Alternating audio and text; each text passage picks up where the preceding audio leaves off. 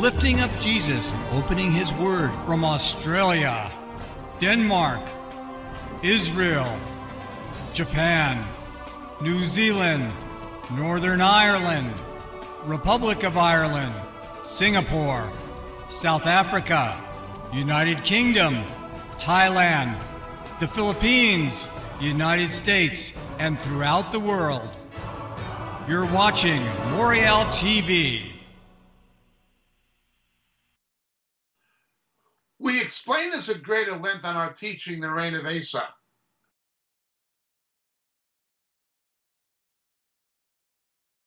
Let's understand what the issue was. There was a kind of a spiritual degeneration in his overall life. Towards the end of his life, there was a kind of almost belligerence. We're not suggesting he was not in the end saved. We're simply saying that something happened to him in old age where his behavior could become quite carnal. A warning to the rest of us. Nonetheless, the problem was not that he went to a physician. The problem is he went to a physician instead of going to the Lord. Medical science and faith are not mutually exclusive. There's nothing that indicates Luke did not continue to practice medicine.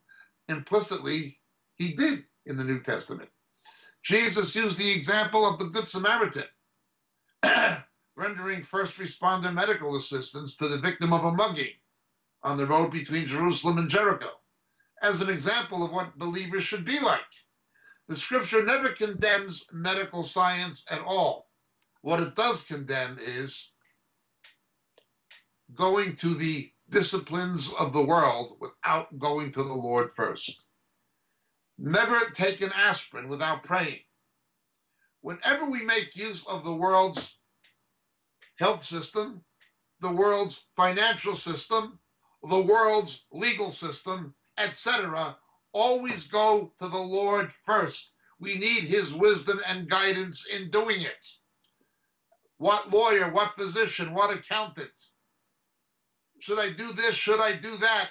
Never trust in secular disciplines. Trust in the Lord and let Him guide us as we deal with these secular disciplines of the world. Okay. The problem is when people trust in medical science instead of in the Lord. The problem is when people trust in wealth instead of in the Lord. The problem is when people trust in the world's judicial system for justice instead of trusting in the Lord. That's not to say the Lord cannot make use of courts. It's not to say the Lord cannot make use of physicians or cannot make use of uh, investment advisors. None of that. But our faith and our trust must be in Him, not in professionals, not even in Christian professionals. We must be led by Him in all things.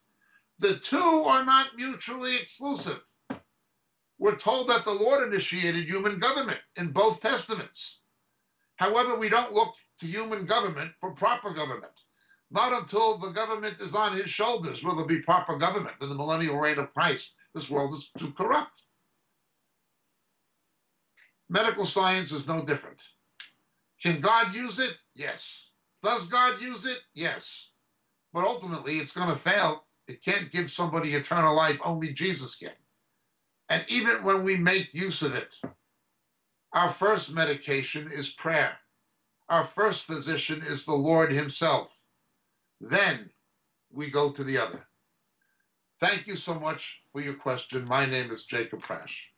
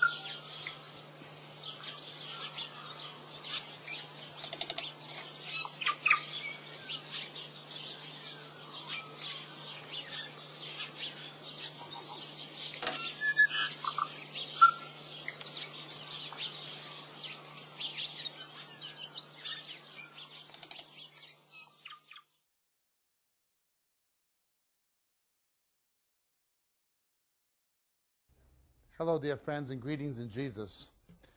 Much has been said in recent years about the subject of revival. By any barometer of church history, by any reasonable barometer, Protestantism is a declining faith in the developed world. It's declining. It's declining spiritually, it's declining morally and ethically, it's declining numerically. It is a faith in the developed world in decline. Most of Europe is post Christian and neo pagan. Great Britain, countries such as Scandinavian nations, Holland, Germany, Switzerland, the countries that had Protestantism, where Protestantism and the Reformation began, are essentially post Christian. United Kingdom has a less than 10% church attendance. Areas of Scotland are virtually pagan, so is much of the north of England, particularly. Germany, it's even worse. Church attendance is about 2%, inclusive of all Catholics and Protestants. The real growth in much of Western Europe is in Eastern religions, especially Islam, including its radical varieties, and the growth of cults, to a degree, Jehovah's Witnesses, Mormons, but particularly a resurrection of ancient Anglo-Saxon Wicca, paganism, and various other things expressing themselves under the broad title of what we call the New Age movement, together with things such as Hinduism directly imported from the Orient. It is post-Christian, neo-pagan. The United States is running on its inertia of its Christian past. Countries like Australia and New Zealand are following suit. Protestantism is declining. It's declining theologically, of course. This began with the advent of higher criticism and liberal theology, which came out of Tübingen, Germany, and took over such institutions as the divinity schools of Yale and Princeton in America and Harvard and Oxford, Harvard in America and Oxford and Cambridge in Great Britain. Institutions that once had, again, an evangelical Protestant heritage. But that is essentially gone. We are in a post-Christian academic environment. In fact, a neo-pagan one. Even higher criticism has declined. What are we coming to? We have a new spirituality based on eclecticism, based on interfaith, which becomes partners with a multiculturalism. In this environment, evangelicals have sought ways to revive the decline of the church. Many of the people who tried these ways were sincere in their motive. They desired to stop the decline. The decline, however, has not only been theological, the decline has been moral and ethical. While people rolled on the floor and laughed at a church in London, England, called Holy Trinity Brompton, saying God was doing something new, and there was a move of the Spirit imported from Toronto, Canada, which saw people in drunken hysterics and even animal imitations. On the other side of the Thames River, in Southwark Cathedral, a place where Christians were once arrested and martyred under the reign of Queen Mary in the aftermath of the Reformation, homosexuals and lesbian Anglican clergy, dressed in vestments and clerical garb, were having a gay and lesbian service in front of national TV cameras during the supposed move of God. Widespread ordination of homosexuals is particularly acute among Methodists and more so among Reformed and Presbyterian churches in Britain, and this is extended into the USA. Church of England, of course, and Anglicanism being at the forefront of this decline in moral standards. It is declining ethically and morally as well as theologically. And it is declining numerically. It's interesting to see that where there are indeed evangelical moves of God, large moves of God, as you'd see, for instance, in the Philippines, or as you'd see in Latin America, what happened in the Reformation during the 16th century is now transpiring in Latin America. In Guatemala, 10% of the people left the Roman Catholic Church in 10 years' time and became evangelical, mainly Pentecostal. The growth of evangelical Baptist and Pentecostal groups has been astounding. Brazil may have as much as a close to 30% evangelical population within the next 10 years. It had been the largest Roman Catholic country in the world with a 98% Roman Catholic population as recently as the 1970s. It's declining and declining rapidly with the explosive growth of evangelicism. You only find the ecumenical movement, this rapprochement between Roman Catholicism and Protestantism in the countries where the church is declining, where Protestantism is dying. The only place you'll find the ecumenical input in Latin America or the Philippines is where it's imported from the United States or from Europe. Indigenously, these people say, We've come out of Rome. This is exactly what happened in the Reformation in the 16th century. It's for this reason that four times Pope John Paul II has denounced evangelical Christians. He did it in Rome, he did it in Mexico City, he did it in Santo Domingo, and he did it in La Paz, Bolivia, even referring to evangelical missionaries as rapacious wolves. While he's calling evangelicals rapacious wolves, you have other evangelical leaders such as Chuck Colson and Nicky Gumbel in Great Britain applauding him as a Christian, despite the fact of his willingness to take anointings from Hindu high priestesses and to kiss books such as the Koran, which says God has no son. Again, we are seeing a post Christian, neo pagan Western world. Many people are just not attending any church. Even many evangelicals will just now meet in homes or not meet anywhere rather than become part of denominational or institutional Christianity in any sense. People want to stop the decline. Many things have been attempted to stop this decline and to reverse these trends.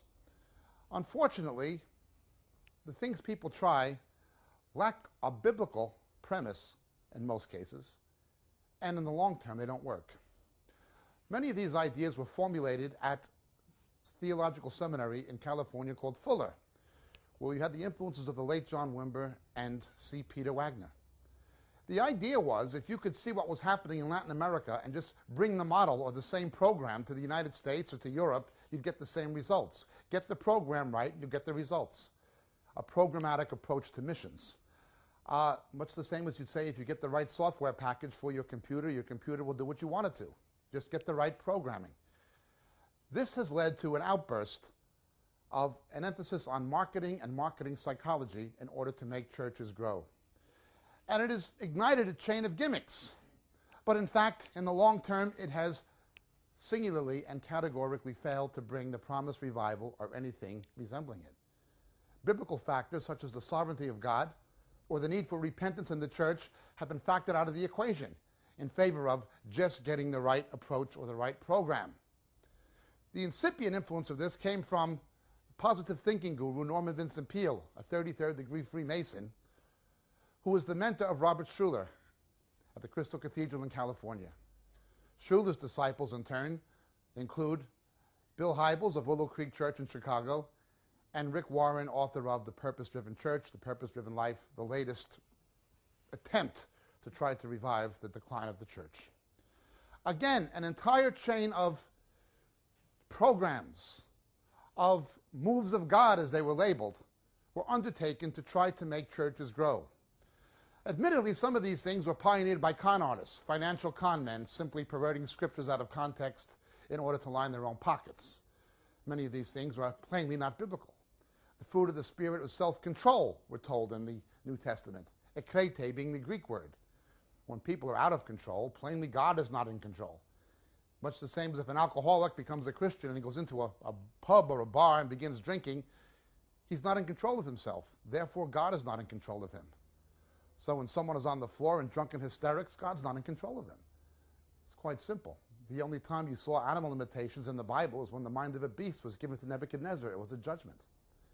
Yet, in a desperate attempt to see Protestantism revived and to see revival come, the church revived, people followed these things.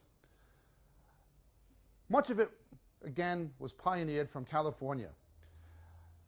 The late John Wimber came along with the idea of power evangelism saying that signs and wonders were the key to revival. Now, I myself, being a moderate Pentecostal, a moderate charismatic, am very concerned about a biblical understanding of gifts of the Spirit. I am not a cessationist. I do not believe that the proposition that the gifts of the Spirit ended with the apostles is tenable or plausible. It is certainly not scriptural. Having said that, are signs and wonders the key to belief? Well, the New Testament plainly says no. Faith cometh not by seeing anything, but by hearing and hearing the word of God. Jesus himself plainly said, For which one of these signs do you stone me? In John chapters 9 and 10. Jesus himself repeatedly said they would not believe despite the signs they saw in John chapter 12. Biblically, signs and wonders have never been the key. Biblically, it's these signs follow. Jesus never had a miracle crusade, and he never had a healing crusade. He had miracles and healings, but never a crusade he had a repentance crusade. Biblically, these signs follow. He warned that many would come to him in the last days, saying, Lord, didn't we do signs in your name? Didn't we cast out demons in your name? And Matthew chapter 7, verse 22. And Jesus is going to say, I never even knew you. Didn't deny that they did the signs, but these things don't bring revival or prove anything about anyone except Jesus himself. And so it goes on. Was Mr. Wimber correct? Well, we see, indeed, he was not. He certainly was not. When he came to Great Britain with the Kansas City prophets, Paul Cain, Mike Jones, who was found in, uh, Bob Jones, who was found in immorality, and Mike Bickle, who prophesied that revival was going to come to Great Britain in October of 1990 and rapidly spread out across Europe into Germany. Since that time, more mosques have been built in England than churches. Now, that was 14 years ago. They were dead wrong. The prophet uh, Moses tells us that those who predict things in God's name that fail to happen are false prophets, and we're commanded to avoid them. Yet we've had predictions of revival in Zimbabwe by Cindy Jacobs. The diametric opposite happened. We have people following people like Rick Joyner in the United States.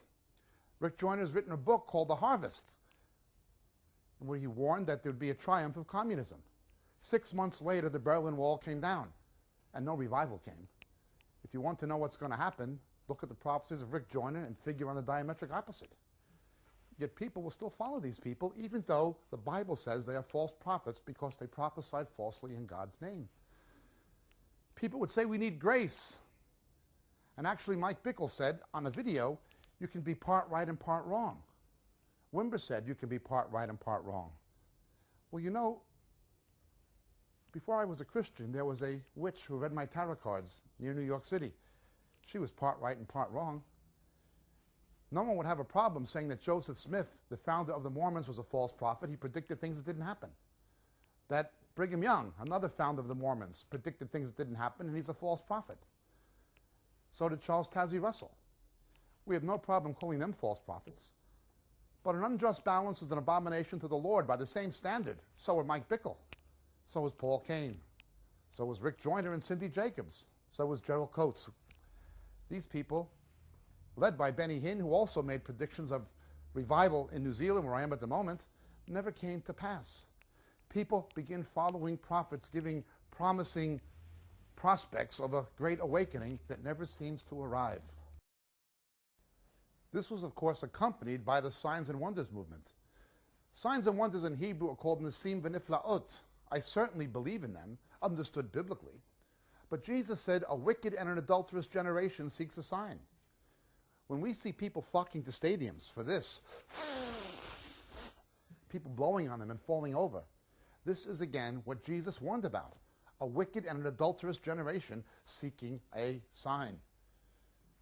By prophets who prophesy falsely, false prophets who Jesus would warn would come in the last days. But still, no revival comes. People can fall down all they want. The falling down phenomenon today bears no resemblance to the biblical slain in the spirit, which was a once in a lifetime, life changing experience. Moreover, in the Bible, people always fell forward on their faces and worship to God, what we call in Hebrew hishtachavot. The only place they ever fell backward in the Bible was when they came to arrest Jesus, and it was a judgment in the Garden of Gethsemane. Yet these people are falling the wrong way. But there's no revival from any of this nonsense. Never has been, and there won't be. The promises of Rodney Howard Browne came to nothing. The promises of the Kansas City prophets came to nothing. After Kansas City, it was the Laughing and Drunken revival in Toronto, Canada, followed by its American counterpart from Pensacola, Florida. The pastor there, John Kilpatrick, condemned the major Christian writer for criticizing it as a counterfeit revival and said in three months God would bring him down. Instead, three months later, John Kilpatrick himself fell off a roof and was wheeled out in a wheelchair. The only one God brought down was him. Brownsville, Pensacola church split, and no revival has come there any more than it did to the Airport Vineyard Church in Toronto, Canada. John Arnott was wrong. There was no revival in Toronto, no revival in Pensacola, no revival in New Zealand, Britain, or anywhere. No revival has come. The cults continue to grow. Eastern religion continues to grow.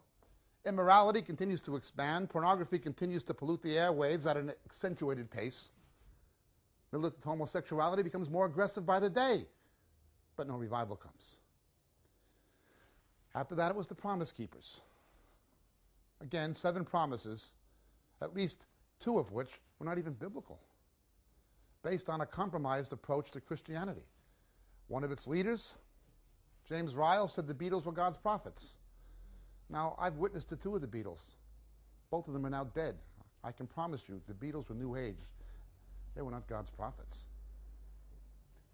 They distributed a book called The Masculine Journey, containing New Age mas- uh, phallic symbolism, male phallic symbolism, by Robert Hicks, formerly of Dallas Seminary, saying that Jesus was tempted in all manner that we are, and he was tempted to have sex with other men.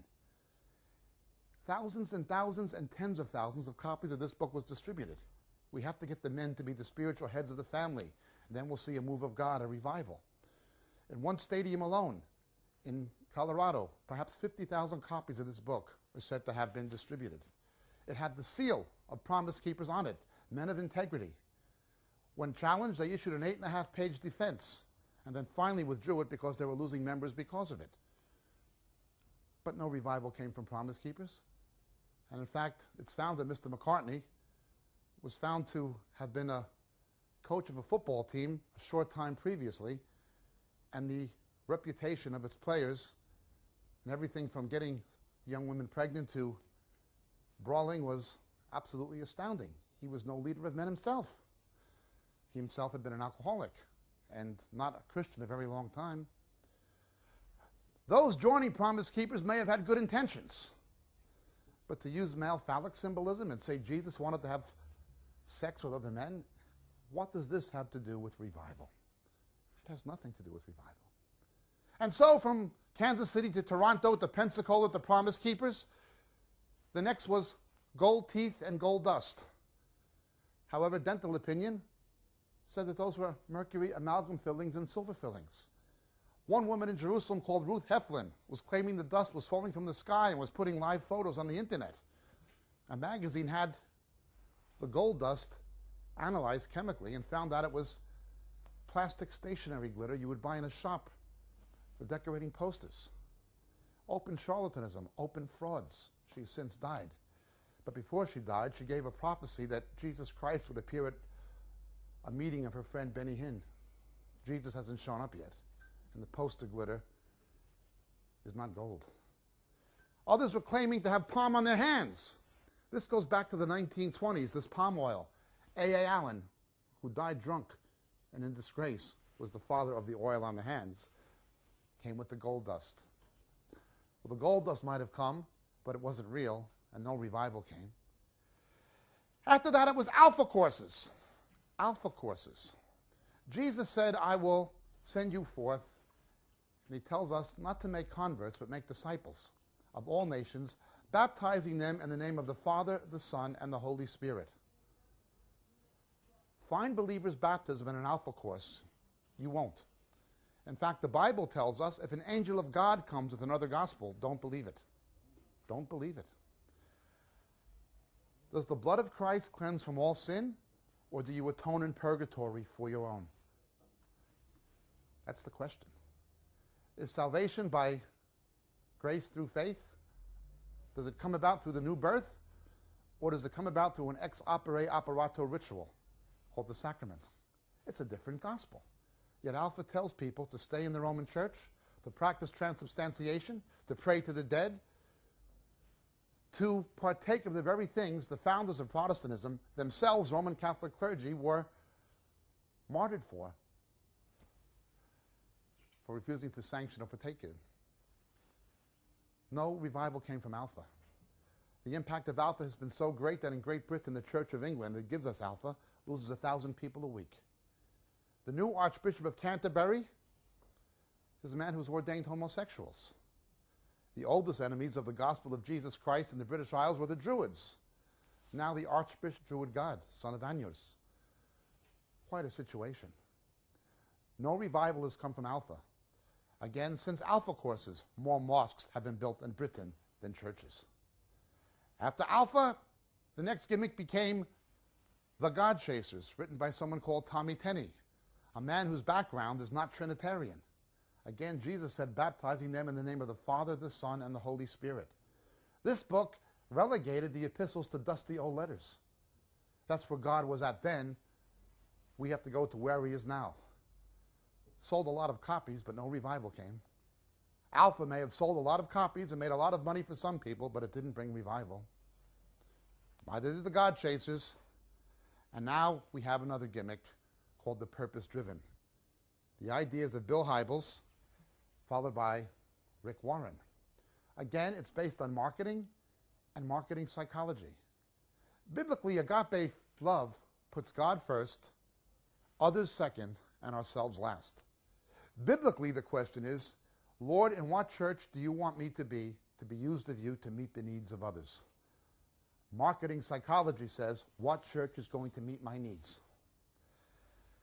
There's a procedure twice outlawed by Congress in the United States called partial birth abortion, where you do a forceps extraction of a fetus in the process of being born through the birth canal. During the procedure, a suboccipital puncture is made into the cranium of the fetus, a suction catheter inserted, and the baby's brain sucked out while it's in the process of being born.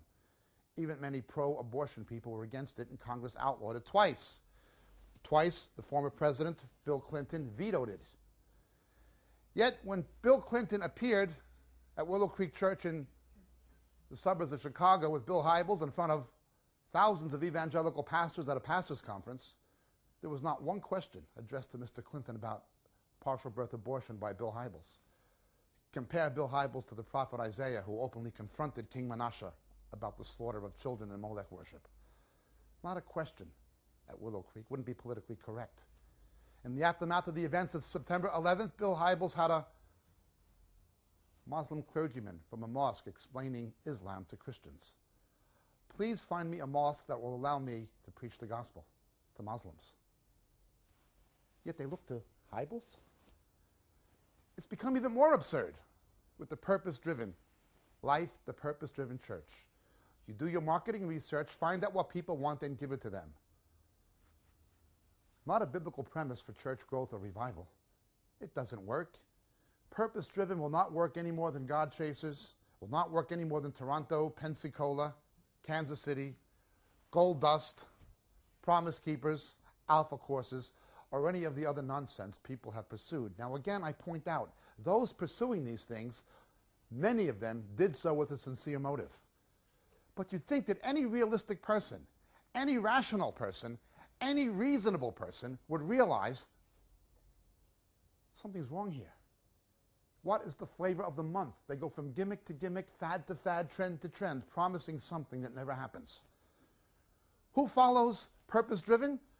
The same ones that followed Promise Keepers or Alpha or Toronto. Always the same churches, always the same leaders, always the same people. One nonsense after another, one miscarriage after another, but revival never comes absurdity of absurdities, now they've gone to the world wholesale. I watched an interview with Mel Gibson, the Australian American film star, cum director. And this interview was conducted on Ash Wednesday of this year, 2004, by Diane Sawyer on American television. She asked Mr. Gibson, Do you have to believe in Jesus Christ to go to heaven? Mr. Gibson responded, No, absolutely not. You do not have to believe in Jesus Christ to enter the kingdom. This was his belief when he made the Passion film, a film that was based on not the New Testament, but a book by Roman Catholic mystical nuns claiming to have visions. The film contains much historical and biblical inaccuracy. Things like Veronica, not in the Bible. Veronica itself, it's not the true image, it's a false image. We know from paleoarchaeology and forensic archaeology that in a Roman crucifixion, the nails were driven through the radius, not the metacarpal, just the wrist, not through the palm of the hand. Yet in the film, the nails go through the palm of the hand. Again, the Roman Catholic superstition of the stigmata. It's not even biblically accurate or historically accurate. Fortunately, that film did not do very well outside of the United States, except in certain Muslim countries where it was being used as anti Semitic propaganda to generate Jew hatred. Yet, one evangelical pastor and leader after another were heralding that film as a way to evangelize, a film made by a man who says you don't have to believe in Jesus Christ to be saved. Well, the jury's no longer out. One poll found that less than one half of 1% of people seeing the film said it has had any profound impact or effect on their religious beliefs. That was a poll conducted in the United States within the last month. But just one week ago in Australia, Mr. Gibson was interviewed. I don't know where the interview was, but it was published in a major Australian daily newspaper. And he was asked about the, the effect making the film had on him, the passion. And he said, I don't have to answer these kinds of questions anymore. I'm a hell of a lot richer than I used to be. You don't have to believe in Jesus Christ to go to heaven, says Mr. Gibson. Yet one silly, ignorant, naive, undiscerning evangelical pastor and leader after another applauded this film, Hollywood evangelism, silver screen evangelism. We have to go to the world to evangelize. No revival came or is coming. Just another nonsense. It doesn't work. It won't work, it can't work. Everyone is looking for a program, a gimmick, a fad, a prophecy, a promise, a way to bring revival. They look here, there, and everywhere, but not enough look to the one place they're going to find the answer the Word of God. Much, much can be said about the subject of revival. To begin with, the word revival is not in the Bible in the way most people use it. But by historical definition, a revival is not a lot of people getting saved. A lot of people getting saved and discipled is the result of revival, the proof it happened, but it's not the revival. The revival is the church repenting, returning to its first love, and God pouring out his Spirit upon it. That is revival. Historically and biblically, no revival has ever begun with people laughing. Rodney Howard Browne lied. John Arnott lied. These men lied. Some of them printed lies. The apologeticist for Toronto, Guy Chevreau, wrote a book, Catch the Fire. He actually lied. He quoted Daniel Rowland from the Great Revival, saying this happened in the revivals of John Wesley and George Whitefield. Well, he did, but it so happens that book that he cites was published by Banner of Truth Press in Britain. I have the book. And it says that John Wesley said the hysterical laughter was demonic. It was not a move of God. People talk about those falling over in the great revivals of Jonathan Edwards and of John Wesley and George Whitefield. Yes, but it was unsaved people falling under the power of God, convicted of sin and repenting and being born again. It was not Christians acting like drunken jerks and lunatics. These people have lied. Many of the people who followed them did it in ignorance, but the leaders had not told the truth. I know of no euphemism for deception. But if you were into these movements, you've been lied to. Let's look at the truth. No revival has ever begun with people laughing. Every revival has begun with people weeping. But let's go beyond that. Let's understand something about what the Bible says about revival. There is much we can say. But one leader who did see revival come in his time, one man who understood revival was King Asa. Turn with me to Second Chronicles, please, chapter 13, the reign of King Asa. Now, there will be those who will say, wait a minute, that's the Old Testament. The Old Testament is the only Bible that the early church had. It was good enough for Peter, James, and John. It's good enough for us. We are told in 1 Corinthians 10 that it was written for our instruction. We're told in Romans 15 that it was written for our instruction. Let us be instructed. This was the Bible of the early church. And the principles we find in the Old Testament are all reiterated in the New. There is nothing in the New that is not found foreshadowing Christ in the Old. At the end of chapter 13, we read about the death of King Aviah, not a very good king. Verse 21 But Aviah became powerful and took 14 wives to himself, and became the father of 22 sons and 16 daughters. This propensity for multiple marriages seemed to run in the family, dating back several generations to King Solomon. It was a family trait womanizing. not exactly illegal or unlawful in the Old Testament, but something that got many kings in trouble. And eventually ended in a split between the two kingdoms when it led Solomon into idolatry. Now, the rest of the acts of Aviah and his words and his ways are written in the treatise of the prophet Edo. That word, usually translated as treatise in English, in the original Hebrew is midrash. Midrash. Midrash is the way the ancient Jews interpreted the Bible. If you want to understand why the New Testament handles the Old Testament the way it does, it is using Jewish midrash. This is exactly what we see in the Dead Sea Scrolls. The New Testament handles the Old the way the Dead Sea Scrolls handle the Old Testament. This is midrash. Much can be said about this subject. I only mention it in passing. But the midrashim, the word, the term, is in Scripture. And it gives us the preface to what would happen in the reign of Asa. In Midrash, the narrative is not just a story, it is, among other things, a theological interpretation of the story. True in its historicity, but what's most important is what the history meant. So, Aviah, which means in Hebrew, my father is Yahweh, slept with his fathers, and they buried him in the city of David, and his son Asa became king in his place. The land was undisturbed for ten years during his days. Asa did good and right in the sight of the Lord his God, for he removed the foreign altars and the high places were torn down, the sacred pillars cut down, the Asherim, and he commanded Judah to seek the Lord God of their fathers and to observe the law and the commandment. He also removed the high places and the incense altars and all and all the cities of Judah. And the kingdom was undisturbed under him. He built fortified cities in Judah, since the land was undisturbed and there was no one at war with him those years, because the Lord had given him rest. For he said to Judah, Let us build these cities and surround them with walls and towers, gates and bars. The land is still ours, because we have sought the Lord our God. We have sought him, and he's given us rest on every side. The land was still theirs because they sought the Lord their God. The reason for the growth of Eastern religion the reason for the growth of the cults, the reason the land is not still ours in so much of the Western world is because we've not sought the Lord our God. We have to understand that Islam is a judgment on the Judeo Christian West for its backsliding.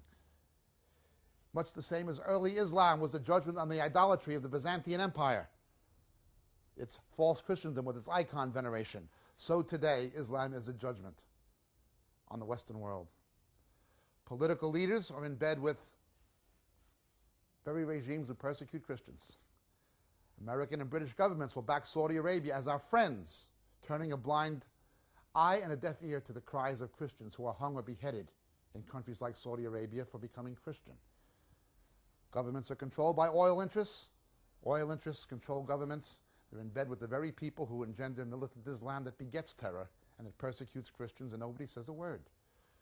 Again, America, Britain, they'll protect the very regimes that persecute Christians. Islam is a judgment. It's a judgment on the West. Difficult for me to say that having lost family in the events of September 11th. Difficult for me to say that to people who lost family in Madrid or in Lockerbie. Difficult for me to say that to a lot of people, but it's judgment. Only when we seek the Lord, the land is ours.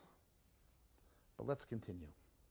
Concerning revival, we see a number of things that Asa understood that have since been forgotten by the contemporary church. The first thing we see is revival begins not by building up, but by tearing down. The same as revival does not begin with people weeping. Oh, yes, it does. We were told it begins with laughing. Revival begins with weeping, not laughing. So too, revival begins with bulldozing, not construction projects. Revival does not begin with a crane, it begins with a bulldozer.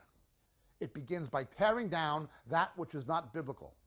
Unless someone is willing to tear down, it's pointless trying to build up. They're wasting their time, wasted efforts. Jesus spoke of the pruning process get rid of the dead wood to make way for good growth unless the church is willing to get rid of that which is not biblical, to demolish it into rubble and then cart it off. You're building on a very shabby foundation that will not be able to sustain real growth. This has been part of the problem of the charismatic movement. Why, after more than 30 years, it has not brought revival or transformation. It left too many unbiblical things in practice. Oh, it's okay to pray to the dead. Oh, it is okay to believe that you're saved by sacraments. Oh, it is okay to base your doctrines on experience and mysticism instead of on Scripture. They left too many unbiblical things in place, so they built in vain. Unless the Lord builds a house, the laborers build in vain, and for the last 30 years plus, the charismatic movement has built in vain. No revival has come. New Age is the new spiritual movement. Revival does not begin with laughing, but with weeping. And it does not begin by building up, it begins by tearing down. Specifically, they tore down the high places and the Asherim, the female cult deities. They were torn down. Now, the Hebrew word for a high place is bimaot, bimaot. There was one high place where Yahweh ordained to be worshipped. Gadol Adonai umeulal meod be'ir Eloheinu har kodsho. Yefenov sosmin kol ha'aretz. Ha'aretzion mi'er keted sofon kiryat melakrav. Great is the Lord and greatly to be praised. The city of our God, the mountain of his holiness beautiful for elevation, high place. The joy of the whole earth is Mount Zion on the sides of the north, the city of the great king. Idolatry did not begin by worshiping other gods on high places. It began by worshiping Yahweh, the true God, on other high places. Unbiblical worship will lead to false worship. We have to understand the original meaning of the Hebrew text. The Hebrew word for unbiblical worship and for open idolatry is the same term. Avodat zerah. Avodat zerah. In the original Hebrew, the word for unbiblical worship and idolatry is the same. Why does God see it as the same? Because unbiblical worship today will inevitably lead to idolatry. You burn strange fire, before you know it, you'll be burning it to another God. To understand this, we have to look to the words of Jesus. The Father wants to be worshiped in spirit and in truth. When people make their own rules, Jesus said in Matthew 15, he quotes Isaiah saying that they worship in vain. There is no doxology without theology. If the doctrine is not right, the worship is not acceptable to God. It is all vanity. For instance, our faith is Christocentric, not pneumocentric. We've warned about this many times. The Holy Spirit is indeed God, and he's worshipped as God. He's worshipped as God because he is God. He's a person of the triunity of the Godhead. The Charles Wesley hymn, Holy, Holy, Holy, God in three persons, that's perfectly biblical. But no place is the Holy Spirit ever worshipped or prayed to outside of the triunity of the Godhead in Scripture, not even once. In the Gospel of John, we're told he points people to the Lord Jesus, never himself. If Jesus is not being lifted up, it's not the Holy Spirit, it will be a counterfeit spirit. We pray to the Father in the name of the Son through the Spirit. Yet today, what kind of rubbish do you see being called worship? Good morning, Holy Spirit. Come, Holy Spirit, let your fire fall. Holy Spirit, we worship you. None of that is biblical. It is not the Holy Spirit. People will wind up in blasphemy, they'll wind up in carnality. They'll wind up in Toronto or Pensacola, but they will not wind up before the throne of grace. That is not biblical worship. If it's God's Spirit, it points to Christ, never himself. The Father wants to be worshiped in spirit and in truth. Oh, it's not worship, it's just vanity. People draw attention to themselves. They began worshiping Yahweh in an unbiblical way on other high places other than the one he ordained. When you worship the true God in the wrong way today, you'll be in idolatry tomorrow. To understand this, we have to understand much of this idolatry centered around Baal worship. Baal is the Hebrew word for husband, master, and owner. Yahweh, according to Isaiah and according to the prophet, prophet Hosea, was Israel's Baal. Your husband is your maker. Yet the Canaanites had their Baal going back to a variation of Marduk worship from ancient Babylon. Baal Shemaim, who had a resurrection myth every spring. He's Baal. Yahweh is Baal. Two gods called Baal being worshipped on the same high place. To understand this, look at, for instance, Mormonism, the Latter day Saints as they call themselves. We're the Church of Jesus Christ of Latter day Saints. Their Jesus Christ is the half brother of Satan, according to the Book of Mormon. The Jesus Christ of the Bible is monogenes in Greek, the only begotten of the Father. Now, they have the same name, Jesus Christ, but it's a different Jesus Christ. So it was with Baal worship. Similarly, you have Allah. There are two essential Arabic words for God, El and Allah. But Allah was also not just a generic name for God, it was the name of the Arabian moon god. Oh, we have Allah. He's not the Elohim of the Bible. He's not the God of the Christians and Jews. Just because he comes in the same name. You worship the true God in the wrong way, and then another comes in his name. Jesus warned, Many will come in my name. But then they took down the female cult deities. From Fatima, Lourdes, Knock, Medjugorje, we're seeing an explosive uh, interest in the cult of Mary within Roman Catholicism, and many so called Protestants are compromising with it. The Bible says directly there is one intercessor between God and man, Jesus the righteous, not Mary. Her real name was not Mary, her real name was Miriam. Miriam. She was a Jewish girl with dark hair, dark eyes, and dark Semitic features. She did not have blonde hair and blue eyes. In a replay of the Song of Deborah from the book of Judges, chapter 5, an angel called Gavriel in Hebrew, the mighty one of God, comes to this Jewish girl, Miriam, and tells her, She is the greatest woman who ever lived. Blessed are you among women. You will be the mother of the Messiah in the Magnificat, who will save his people from their sin. Now, the only thing the greatest woman who ever lived could say when she was told she was going to be the mother of the Messiah who would save his people is, My soul magnifies the Lord. My spirit rejoices in God, my Savior. Mary says she needs to be saved. The Bible says all have sinned, all fall short of the glory of God. Only Jesus had no sin because we all have sinned and couldn't save ourselves. That's why God had to become a man. The term Theotokos is not in the Bible, Mother of God. Mary said she needs a Savior. Miriam said she needs a Savior. If the greatest woman who ever lived said she needs a Savior, if the Holy Spirit inspired St. Matthew to put that in the Bible, if God's word says all have sinned, all fall short of the glory of God, I have a choice. I can believe Mary, I can believe the apostles, I can believe the word of God, or I can believe the Roman papacy. And I want to assure you, I'm neither an anti Semite nor anti Catholic. My family is a mixture of Roman Catholic and Jewish. My children are Israelis born in Galilee. My mother is a Catholic. I was sent to Catholic school, howbeit against my will in my youth. I know its doctrines. I'm not against Catholic people, and I'm not against Jewish people. But Jesus is the Jewish Messiah, and Roman Catholicism cannot possibly be biblical Christianity.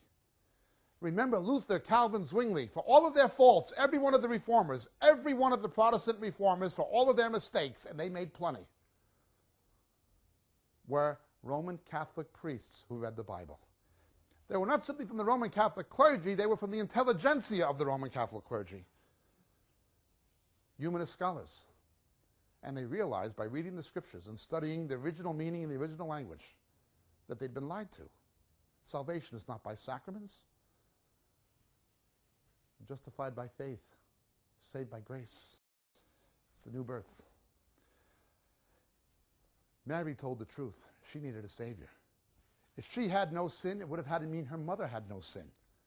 And if her mother had no sin, it would have meant her mother had to have no sin. It's not even a logical argument. But the Bible says all have sinned. Because of a papal encyclical, Munificentissimus Deus, they believe she had no sin, even though she said she needed to be saved from it. I love Miriam. I esteem Miriam. I think Miriam is sensational. I think Miriam is terrific. I think Miriam is the greatest woman who ever lived. I greatly look forward to meeting Miriam. But I want nothing to do with that stupid, dumb, blonde bimbo shiksa, Mary. That is not Miriam. That is simply a pseudo Christianization of the ancient female cult deities Minerva, Diana of Ephesus, Ashtaroth, Ashtart, the very things Asa got rid of. There is one intermediary between God and man, Jesus the righteous. One. She did not co save us or co redeem us. Her son is the Redeemer. Mary said, Listen to my son. Whatever he does, whatever he tells you, that's what you should do. We should come to him. Mary can't help us. She was the greatest woman who ever lived. And if the greatest person, the greatest woman who ever lived, needed a Savior, how much more do the rest of us? Let's go further. He got rid of these things. He knew that this junk had to be thrown out before revival could come. Asa understood revivals begin not with building up, but with tearing down that which is not biblical. I don't care how much purpose driven nonsense people go into, how many gimmicks, how many fads, I don't care what flavor of the month is, I promise you there will be no revival. Revival cannot come to the body of Christ in the Western world. Revival cannot come until what is unbiblical is removed. People will say, You're judgmental, you're critical. No, I'm biblical. Show me where I'm wrong from the Bible. I want to see revival. They'll say, Oh, you don't want to build up, you just want to tear down. No, I want to build up, therefore we have to tear down. Unless you tear down, you're wasting your time. Don't bother building because whatever you build will not stand. Asa understood this. Just as revival begins with people weeping, not with people laughing, so revival begins with tearing down, not with building up. The second thing he understood is this He commanded Judah to seek the Lord God of their fathers. He commanded. Hebrew prayers are prefaced with the introduction, Baruch atah Adonai Eloheinu melech haolam. Blessed are you, Lord God, King of the universe. Jesus in Hebrew was called Hamelech Hamlachim, the King of Kings. Kings, by definition, don't invite, they decree. Jesus said, Go out to the highways and byways and tell them the king commands they come in, compel them to come in. Not by use of force, but by use of regal command, divine command. Look at how the apostles preached. In the book of Acts, chapter 2, Peter said, Save yourself from this crooked and perverse generation. The book of Acts tells us God commands men to repent. Commands. Anybody who God has ever used to bring revival, be it George Whitefield, John Wesley, D.L. Moody, they all preach the same way, biblically. God commands men to repent. I don't mean preaching at people. That's not preaching to them. But I do mean it's appointed to man once to die and after this the judgment. Unless we preach law, people will never understand grace. Unless people know that they're lost and bound for judgment, they won't know how good it is to have a Savior who paid the price for their sin. God commands men to repent. The early influences of somebody who was well intentioned but who was in serious doctrinal error have come now to take over most of the church's evangelism. This man was somebody who was called Charles Finney. He bordered on being an absolute heretic because he denied original sin. The Bible says we're born with a fallen nature, therefore we must be born again. Finney did some good, perhaps, but he certainly did much damage. And I think he came to realize that before he died. Now, I myself am not a Calvinist. I'm not reformed in any sense. I don't think that's biblical. But either is the Pelagianism, which denies original sin. People are fallen, they're condemned. They need to know that they're condemned. Only God can intervene and cause people to be saved. But He commands people to repent, He doesn't invite. Something has happened from the influences of Mr. Finney. The sovereignty of God is downplayed in salvation. But also, what happens is, is this idea where we simply have to respond to his love. Even Finney never taught that, even though it derived from the implications of what he did teach. It began with things like the four spiritual laws God loves you and has a wonderful plan for your life. Bill Bright ended his life signing up with the Roman Catholic Ecumenical Movement. Late John Wimber said, We're going to take the gospel out of the language of the courtroom and put it into the family drawing room. Instead of God as judge, he's going to be God as loving father. Well, the Holy Spirit inspired Matthew, Mark, Luke, and John to put the gospel in the language of the courtroom. Jesus was put on trial in my place. I and you, we were guilty of the things he was wrongly put on trial for. We actually did the things he was falsely accused of. It was in the courtroom. Unless we understand God as an angry judge, we'll never be in a position to come to him as a loving father. Our sin was judged on the cross. Wimber was wrong. You have to preach law before you do grace. God commands men to repent. But the things like alpha courses, purpose driven, the influences of Robert Schuller, it's emotional manipulation from the world of psychology. It's God loves you. Every eye closed, every head bowed. Accept Jesus into your heart. Slip your hand up. This is emotional froth. It's not the gospel. We'd like to invite you to accept Jesus. This is a lot of silly garbage. It is not biblical and it does not work. God commands men to repent. King Asa understood that. In my youth, when I was in university, I was a cocaine addict. I had what society would call a drug problem. I didn't have a drug problem, I had a sin problem. God commanded me to repent. It's appointed to man once to die, and after this, the judgment. Story then continues. He understood. God commands, He is sovereign. King's command. He understood you had to tear down before you build up, but he also understood something else. He understood that you have to use the good times to prepare for the bad.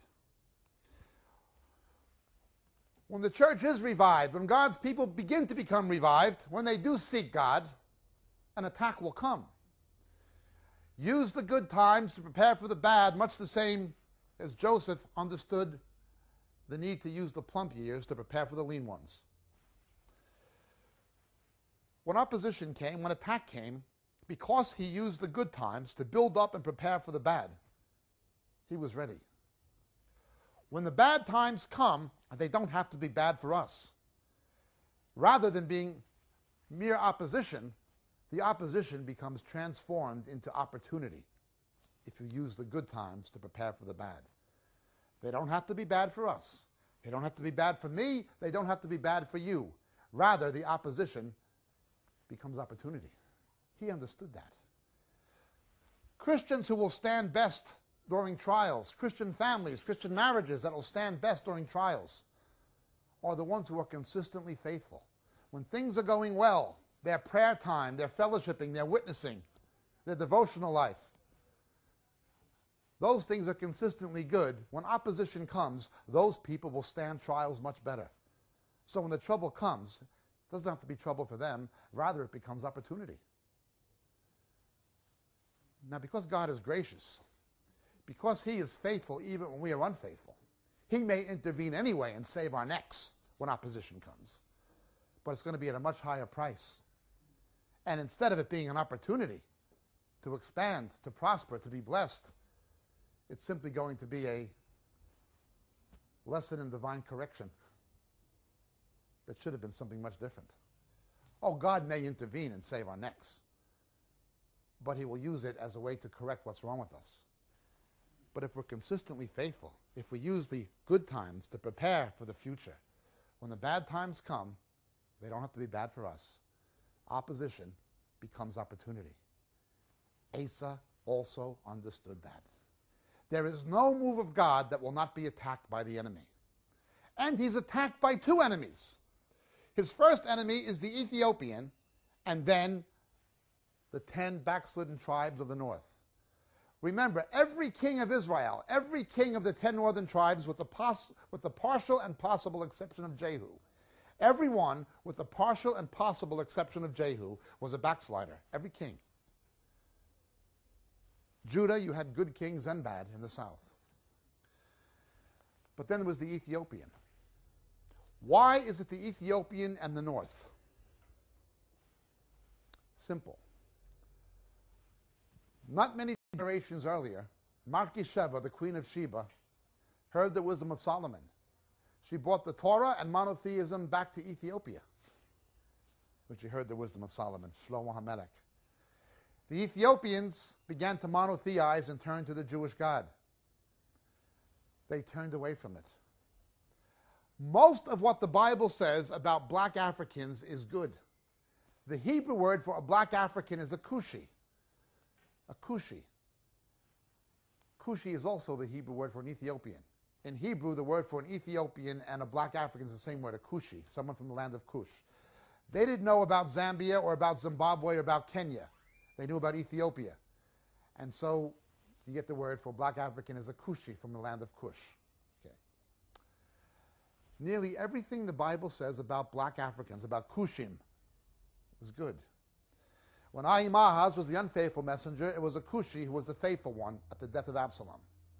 When his own people abandoned him and he was tossed into a cistern, it was a black African who rescued Jeremiah the prophet, Yirmiyahu Hanavi. Jesus said, You should be my witnesses in Jerusalem, Judea, Samaria, and even to the ends of the earth. Begins with Jews, then mongrel Jews like me, that were the Samaritans. But the first total non Jew that Jesus ever saved that we have a biblical record of was the Ethiopian eunuch. The first person Jesus saved, not from a Jewish background, broadly speaking, inclusive of the Samaritans, the first total non Jew, was a black African. Nearly everything the Bible says about black people is good. The black man has always tended to respond to the gospel first. The Coptic Church, although it is no longer biblical in most of its doctrines, it is a very old church in, in, in northeastern um, African continent. Black man always responded first.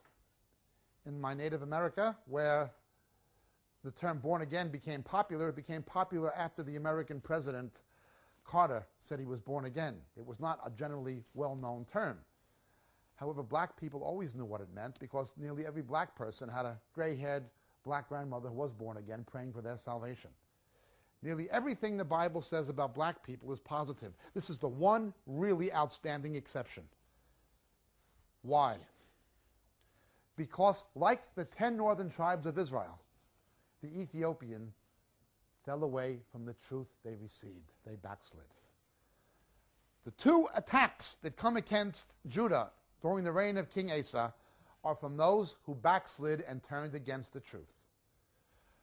The most dangerous and sinister enemies of God's people when there's a move of God will not be the pagan or the unbeliever. It'll be the backslidden. At the moment in Australia, an anti vilification law is being perverted and misused to restrict the freedom of Christians to speak out. Christians are being dragged to court by Muslims. Not a single Islamic country will give Christians the freedom that they demand in Australia.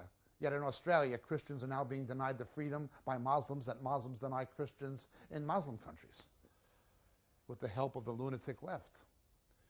And you know, the Uniting Church liberal Protestant churches, the Roman Church, are taking the side of the Muslims against the evangelicals. Unspeakable. The Pharisees and Sadducees hated each other. Yet they collaborated with each other and with the Romans against Jesus. the most serious and sinister enemy of God's true people will be the backslidden. The Romans were not the problem. The Romans were not the main problem. The main problem was the Lord's own kind, the hypocritical Sanhedrin, the religious leadership that turned the people against him. That was the problem. It's the same today. Islam is not the main problem. Those people are unbelieving. The main problem are the backslidden churches and denominations who give credence to it and who will team up with them against believers. A pope who will kiss the Koran while Christians are being murdered in the millions in Islamic countries. That's our first enemy. Asa found this out. The biggest enemies of the cause of Christ will be those who have apostatized. I'm much more, much more, much more concerned with men like Chuck Colson, who signed and drafted evangelicals and Catholics together. I'm much more worried about him than I am the Vatican. Much more. I'm much more concerned with evangelicals who will give credence to unbelieving religion, to false faiths. You get in bed with the Pope, he's in bed with the Dalai Lama. The Dalai Lama said there's no creator. I saw him say that on television in South Africa. He said there's no creator, but we can still be one with Christians and Jews by closing our eyes together and meditating about things like peace. Yet although the Dalai Lama says there's no creator, he allows himself to be worshipped as a reincarnation of the Buddha.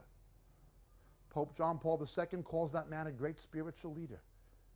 Pope John Paul II took the anointing of the Hindu god of death on his forehead, Shiva. Pope John Paul II kissed the Koran, a book that says God has no son, which according to 1 John chapter 4 is Antichrist in doctrine. Yet Mr. Colson and others like him will applaud the Pope as a Christian.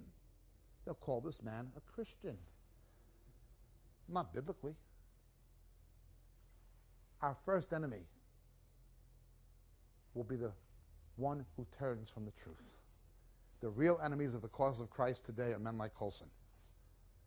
Those who signed the evangelicals and Catholics together, like J.I. Packer. These are the ones who are the most dangerous, not the pagan. So the Ethiopian comes against God's people. And what do we see?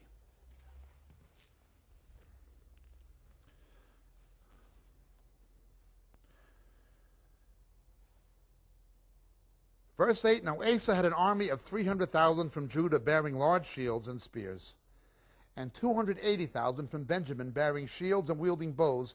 All of them were valiant warriors. With God, quality is always more important than quantity. Quality above quantity.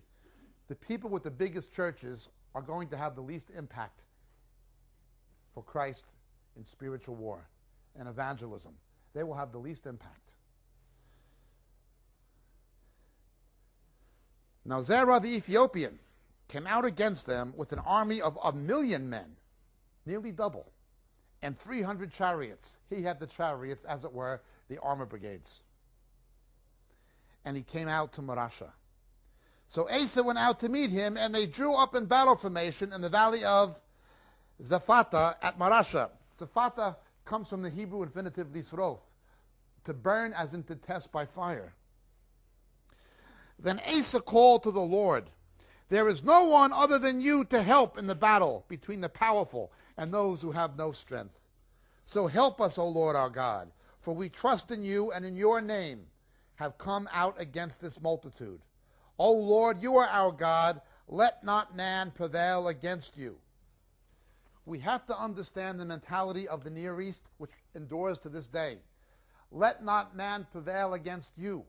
If you win a battle or a war, it represents the fact in the mentality, the cultural mentality, that your God is greater than theirs. If you lose, it represented that your God was inferior to theirs. Why did God give America and Britain victory quickly over Iraq?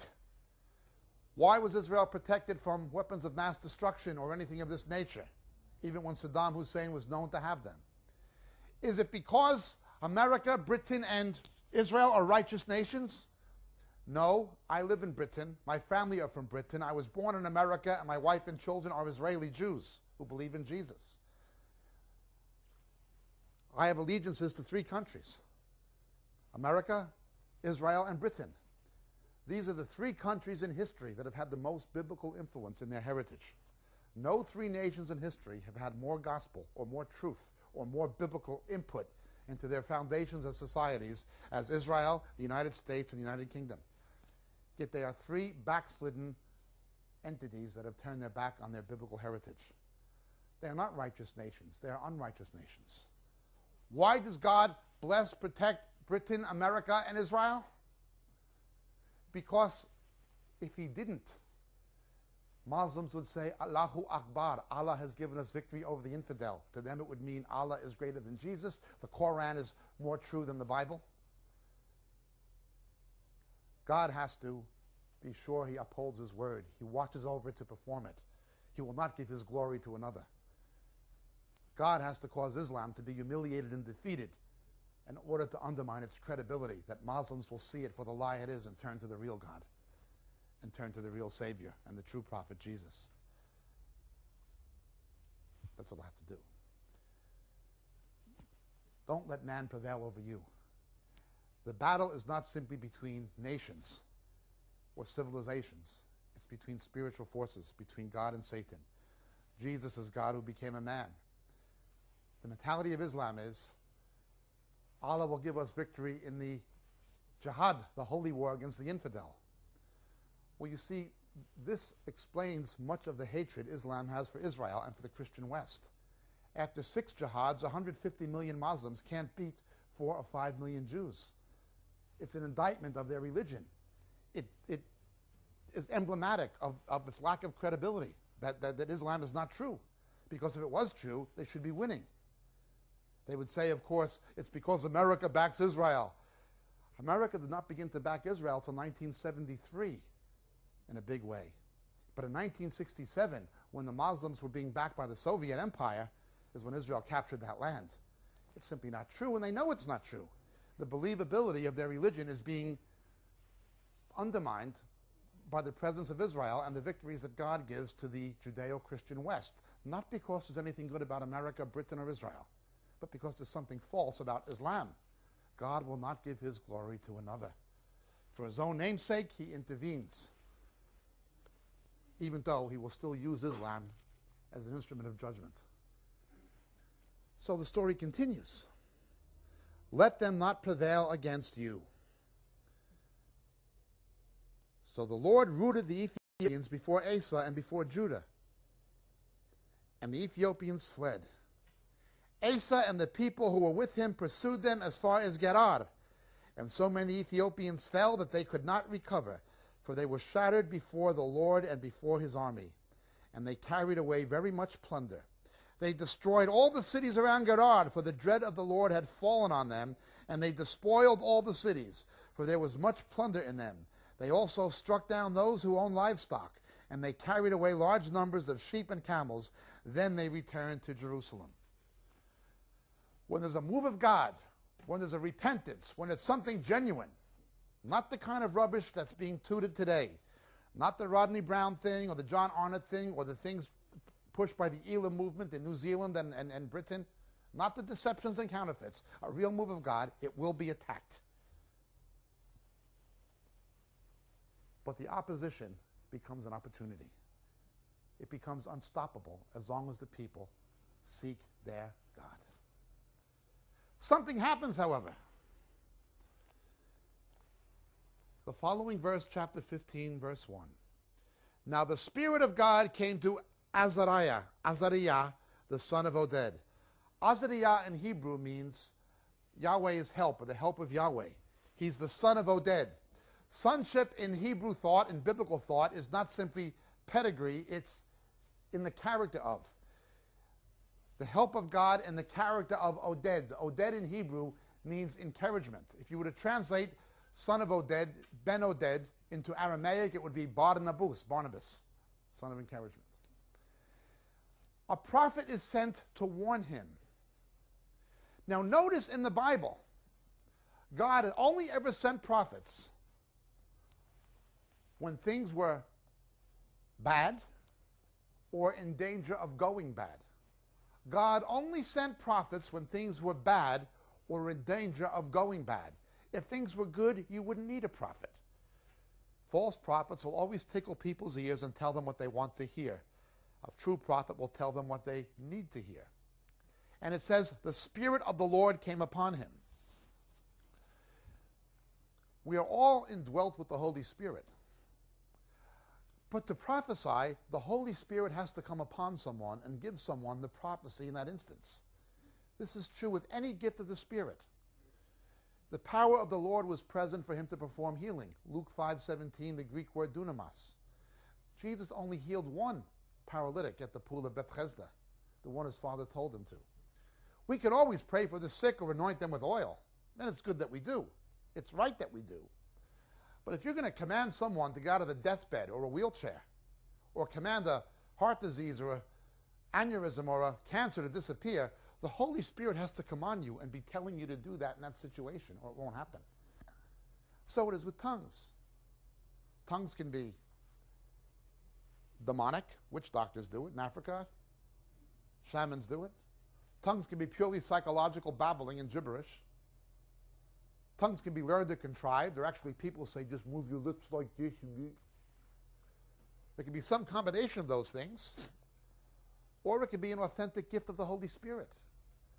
Unless the Holy Spirit comes on someone and gives them that tongue in that situation, it's not real. Well, prophecy is no different. The Spirit had to come on him and give him a prophecy. In the Bible, this was not an everyday event. Many of the prophets went a long time before they had a prophetic revelation of that nature. And it was always in agreement with what was in Scripture. Today, when you see people going around, I have a word for you, and the Lord gave me a picture, and the Lord would say this to you, and you see people like Cindy Jacobs and Rick Joyner, this is not prophecy, this is clairvoyance. It's an occult practice. They may call it Christian, but it's not biblical prophecy, it's clairvoyance. That's why Cindy Jacobs' prophecies about Zimbabwe or, or Rick Joyner's prophecies in his book, The Harvest, didn't happen. They're not prophets, they're clairvoyants, they're false prophets.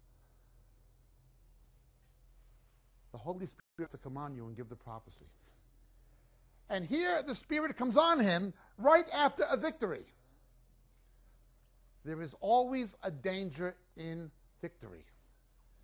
The Duke of Wellington, for whom the capital of New Zealand is named, who commanded the British forces in the Battle of Waterloo against Napoleon, he said, The challenge of victory is at least as big as the challenge of defeat. If you lose the battle, you know what you have to do. You have to reorganize. You have to make a new plan. If you lose, you know what you have to do. But if you win, what do you do now? Sort of like the Americans and British have found out in Iraq. Well, you won, but what do you do now? It is difficult to get to the top of the mountain. But once you get to the top of the mountain, it's easy to fall off. Having been to the Southern Hemisphere so many times and watching the Tri Nation and the Super 12 rugby teams, I was always of the mind, always of the opinion, that never in a Rugby World Cup could a Northern Hemisphere team from the Six Nations, where I live in Britain, never could a Northern Hemisphere team defeat the All Blacks or the Wallabies or the Springboks from South Africa or Australia or New Zealand. I just thought the Southern Hemisphere teams were too good. They were invincible. I never thought one of our teams from the Northern Hemisphere could, in the World Cup, defeat a Southern Hemisphere team. I didn't think that was a realistic possibility. I was wrong. The English Lions did.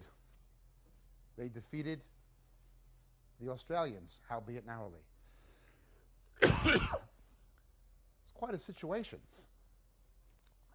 Right after becoming world champions, they lost the European Championship to the French and have since been losing consistently.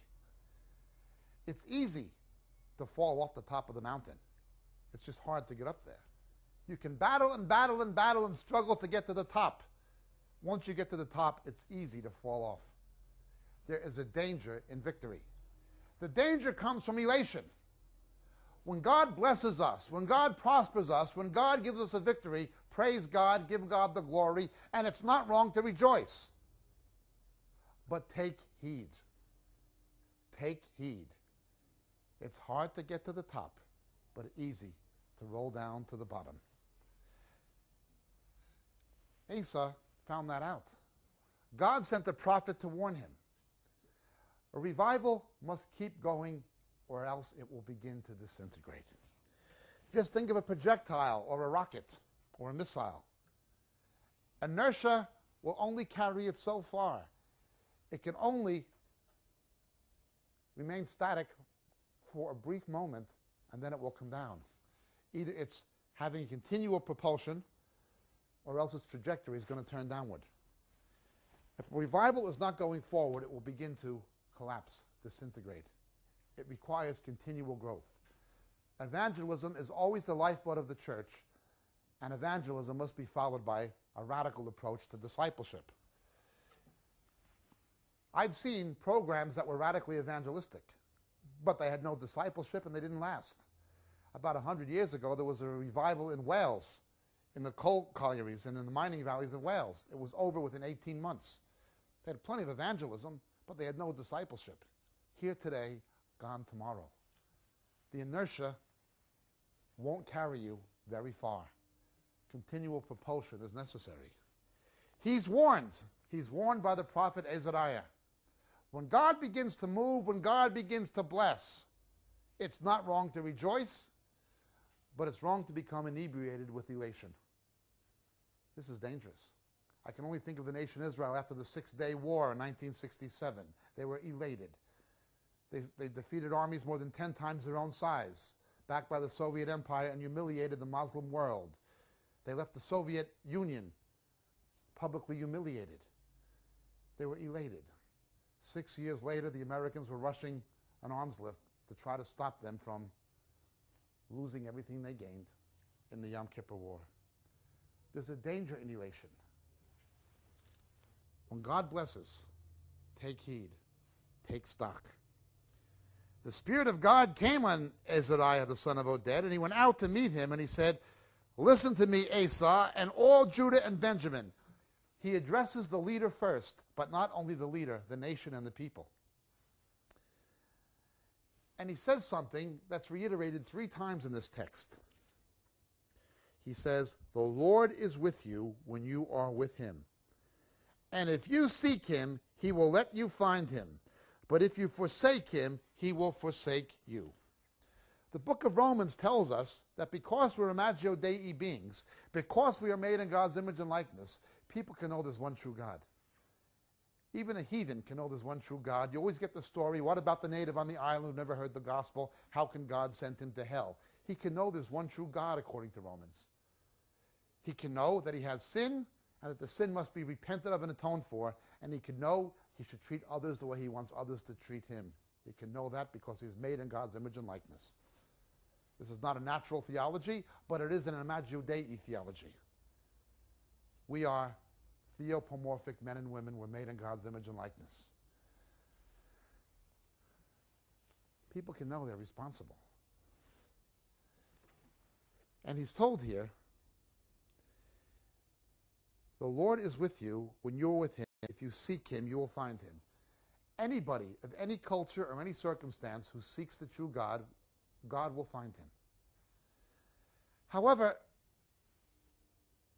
he's also told, the Lord is with you when you are with him. One of the great deceptions in the church is Calvinism, an unbiblical humanism that has redefined Christianity in terms of Reformed and covenant theology. There are two corruptions of biblical Christianity that cannot assure people the, the absolute guarantee of salvation. One is Calvinism and the other is Roman Catholicism. In Roman Catholicism, according to the Council of Trent in their own catechism, imprimatur, if you say you're sure you're going to heaven, you've committed the sin of presumption. Calvinism, on the other hand, is the same. Only God knows whose name is in the book of life and is foreordained, who's predestined to heaven, who's predestined to hell. Neither Calvinism nor Roman Catholicism can give people the assurance of salvation. A Roman Catholic is doing good works, going to a novena or whatever they're doing in order to try to get saved. A Calvinist is doing good works to try to prove they are saved. Neither can give the assurance of salvation. But the Bible says something different. The Bible teaches neither Roman Catholicism or Calvinism. The Lord is with you when you are with Him. You can know you're going to heaven. Those who've repented of their sin and trusted Jesus as the atonement for their sin, and trust that He rose from the dead to give them eternal life, those who pick up their cross and follow Him, who have His Spirit and live by His word, you can be sure you're going to heaven. There's an assurance, an absolute guarantee, an assurance of salvation. You don't have to worry about is my name in the book. If you're with the Lord, He's with you. You don't have to worry about that I do enough novenas. Forget novenas. If you're with Him, He's with you. Novenas are made to St. Jude, the patron of hopeless cases. There's nothing more hopeless than a religious system that can't assure you of salvation. The Lord is with you when you are with Him. However, if you forsake him, he will forsake you. God is the same yesterday, today, and forever. We are eternally secure in Christ, but free will is restored at the cross. To be eternally secure, you must remain in Christ. If you forsake him, he'll forsake you. The Bible does teach eternal security, but it does not teach the Calvinistic perversion of it. Hebrews chapter 6 and Hebrews chapter 10 tells us this. People who were partakers of the Holy Spirit and then fall away. If they go too far and don't repent, they don't return to the Lord, they do not have that assurance. If you forsake him, he will forsake you. Yes, we are eternally secure in Christ. Stay in Christ and you'll have no problem. Both Roman Catholicism and Calvinism are wrong. Both of them derive from Augustine of Hippo, not directly from the New Testament. They both come from the Platonized Christianity, the Platonic philosophies by which Augustine of Hippo reinvented Christendom. They don't come from the Word of God. God's with you if you're with Him. You're eternally secure if you stay in Christ. You can know it. But let's continue.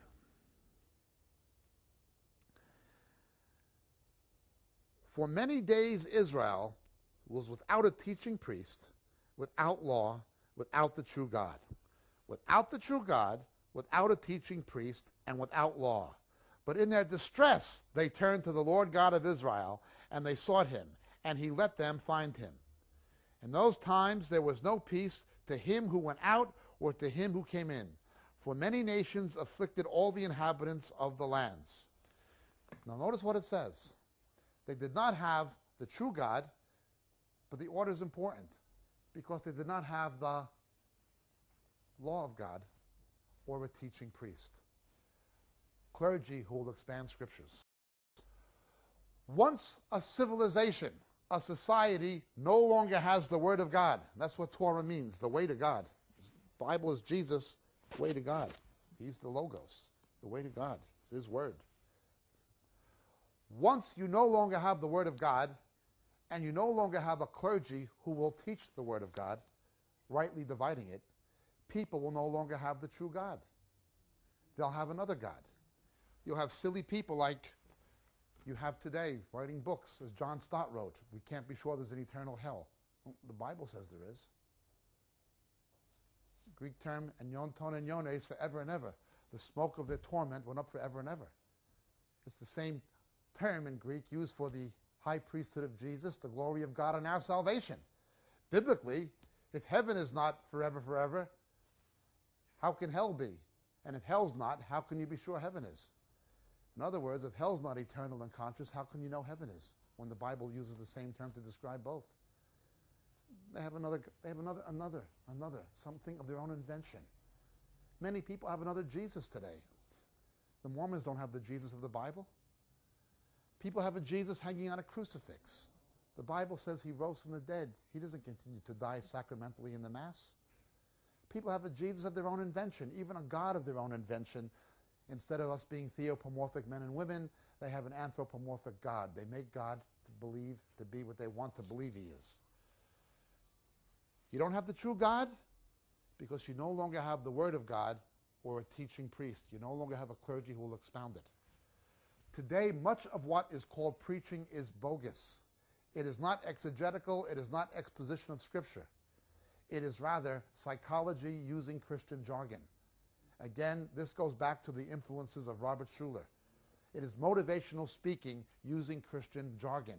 It is not exposition of a text. When they take the scriptures, it is often out of context. They're using Gnosticism, some subjective mystical interpretation of a text out of all reasonable context to make it say what they want it to say. As a result, they no longer worship the real God. They worship one of their own minds. Again, the order is important. What happens? For many days they were without the true God because they were without a teaching priest and without the law. The Bible has been systematically denigrated. Even churches which a generation ago were strong in their biblical emphasis, like the Plymouth Brethren, have gone downhill. The old time Pentecostals, not to be confused with the present state of things in most of the English speaking nations, were strong in the Word. That's gone. The Baptist churches were one time synonymous with a strong biblical emphasis. In too many cases, that's no longer the case at all. Lost the Word of God. Instead, it's psychology, motivational speaking. Instead of a teaching priest, instead of a clergy that expounds the Word of God, it's motivational speaking, it's anecdotes, it's stories, it's hype, it's Hillsong, or some other such thing. And they wind up with a belief in God that is alien to the God of the Bible. The result of this will always be chaos, we are told. Chaos. But in their distress, they turned to the Lord God of Israel and they sought him, and he let them find him. That's the second time we see this reiterated. Seek him and you'll find him. Unfortunately, too often it requires distress before people will seek him. What will it take to make people realize we have to tear down before we build up? That we have to weep before we can laugh? That God commands, he doesn't invite. It will likely take distress. I would have hoped things like September 11th would have woken more Christians to the reality. But it hasn't.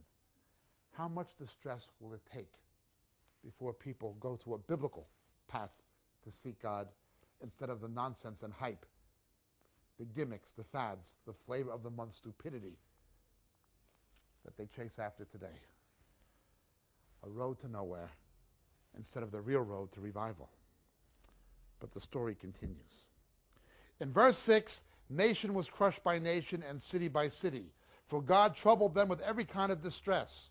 But you be strong and do not lose courage, for there is reward for your work. If we were to read this in the Greek, the Septuagint, the Greek Old Testament, instead of the Hebrew, we would see it is paraphrased in the Olivet Discourse by St. Matthew. Matthew translates Jesus' words from Aramaic into a paraphrase of the Greek text of this nation against nation and kingdom against kingdom. Here it is city against city, but of course, in Greek, the word polis were city states, sort of like Singapore is both a nation and a state.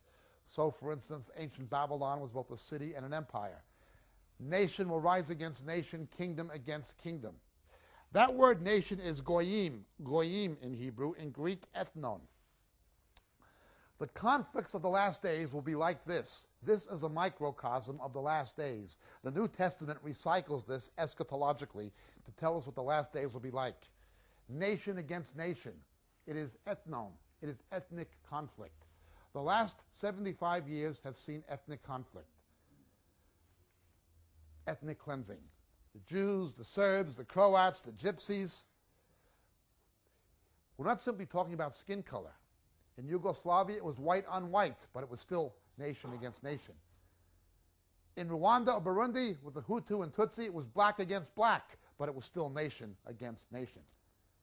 After the Australians and Americans left Vietnam, the Vietnamese and Chinese had a war, and then the Vietnamese and Cambodians had a war. It was yellow against yellow, but it was still nation against nation. The political conflicts of the last days are the result of ethnic conflicts. Mankind can never be one except in Christ. They tried to do it by building a Tower of Babel or United Nations, but it doesn't work. But look what it says God troubled them. The great tribulation will not simply be the deeds of Satan or man reaping what he sowed, it'll be the judgment and wrath of God outpoured. This is what the Bible calls the day of the Lord. When the church is removed, when the faithful believers are taken out of here, the day of the Lord commences, and God will pour out his wrath. This is the day of the Lord. God will trouble them. It'll be his wrath poured out on the kingdom of Antichrist. Again, this is a microcosm and a foreshadowing of what will happen in the last days. But you be strong and do not lose courage, for there's reward for your work. As Jesus said, when you see these things happening, lift up your head, your redemption draws near.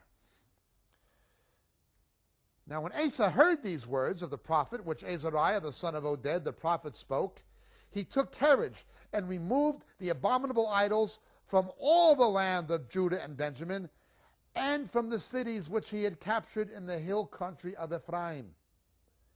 He then restored the altar of the Lord, which was in front of the porch of the Lord he gathered all Judah and Benjamin, and those from Ephraim, Manasseh, and Simeon who resided with them, for many defected to him from Israel when they saw the Lord God, his God, was with him. So they assembled at Jerusalem in the third month of the fifteenth year of Asa's reign. They sacrificed to the Lord that day seven hundred oxen and seven thousand sheep from the spoil they had bought. They entered into the covenant to seek the Lord, the God of their fathers, with all their heart and soul. And whoever would not seek the Lord God of Israel should be put to death, whether small or great, man or woman. Moreover, they made an oath to the Lord with a loud voice, and shouting with trumpets and with horns. All Judah rejoiced concerning the oath, for they had sworn with their whole heart, and had sought him earnestly, and he let them find him. So the Lord gave them rest on every side. King Asa was a man who went from good to better and better to better still. After he had the victory and the warning came, he took heed of that warning and he continued his reforms and became more radical. Only they spread north to Ephraim. It was not just Judah, it expanded. A revival by nature will expand. Now look what happens. He now begins tearing down the altars, the high places, that which was abominable to God in his own territory of Benjamin and Judah, but in Ephraim as well. And he restores the altar of the Lord. The singular, most important type of the cross of Jesus Christ in the Old Testament, the most important shadow, is the altar, what we call in Hebrew mizbeach, where blood atonement for sin was made on the altar. It's a type of the cross. As the epistle to the Hebrews tells us, when Jesus hung on the cross in our place and died for our sin, he was the high priest making atonement, blood atonement on the altar, a korban for sin. The altar had to be restored. In any revival, there must be a restoration of the cross, a radical return to the theme of the cross. Now, again, this stands in diametric opposition to what we see today.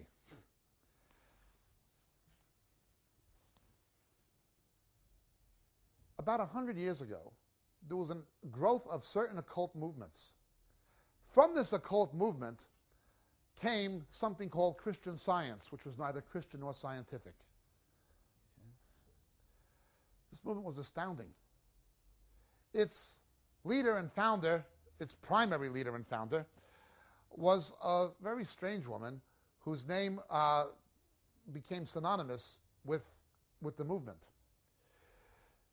She had the view that old age was an illusion, that illness was an illusion, that even death itself was an illusion. And she went on teaching these things. Well, eventually she fell victim to the illusion of old age, then to the illusion of illness, and alas, voila, la grande illusion. Quite a situation. Her beliefs were cultic, but they were picked up by certain hyper Pentecostals who went into heresy, one of which was E.W. Kenyon, and another, influenced by him and by her indirectly, was William Branham, a man who denied the Trinity and prophesied that the Trinity is of the devil. The woman's name was Mary Baker Eddy. This whole belief system, my body is lying to me. I don't have a fever, my body's lying. This is the occult beliefs of Christian science come into hyper Pentecostalism. By distorting the original meaning of the Greek text of the New Testament out of context, where you have a translation problem in the King James for the word Hades into hell, they came up with the idea that Jesus went to hell and was tortured in hell by Satan. Now, in fact, Jesus went to Hades. He went to the place of the fathers, the bosom of Abraham, and revealed himself to the Old Testament saints. They could not go to heaven until he died for sin. They're saved by the same blood of Jesus as we are. On the cross, the Lord Jesus said, It is finished. Father, into your hands I give my spirit. The victory was won on the cross. When he died, he went to be with the Father. However, these people took the idea that Satan got the victory on the cross and Jesus went to hell for three days and three nights and had to be born again in hell. Now, this is completely ludicrous, but it's what they believed. Therefore, because the cross of Jesus was not their view of the gospel, neither was the cross of Jesus their view of the Christian life. So these beliefs that came from Christian science, having occult origins, that came into an apostate form of Pentecostalism led by William Branham and E.W. Kenyon became taken up by people like Kenneth Hagin and Kenneth Copeland. Later, Joyce Meyer, in more recent times, would say in her first book, unless you believe that Jesus went to hell, you can't go to heaven. Early Pentecostalism rejected these people solidly. The beliefs of Hagin uh, uh, and Copeland were not the beliefs of early Pentecostalism. Early Pentecostalism went off the rails at an early point, even after Azusa Street, but some people came along and, as it were, put grain into the poison stew. And they realized what were being taught by people like William Branham and E.W. Kenyon was not scriptural, and that much of what happened at Azusa Street was simply not biblical. However, in more recent years, what traditional and classical Pentecostalism rejected as apostate has become mainstream. The teachings of Kenneth K Copeland and Kenneth Hagin.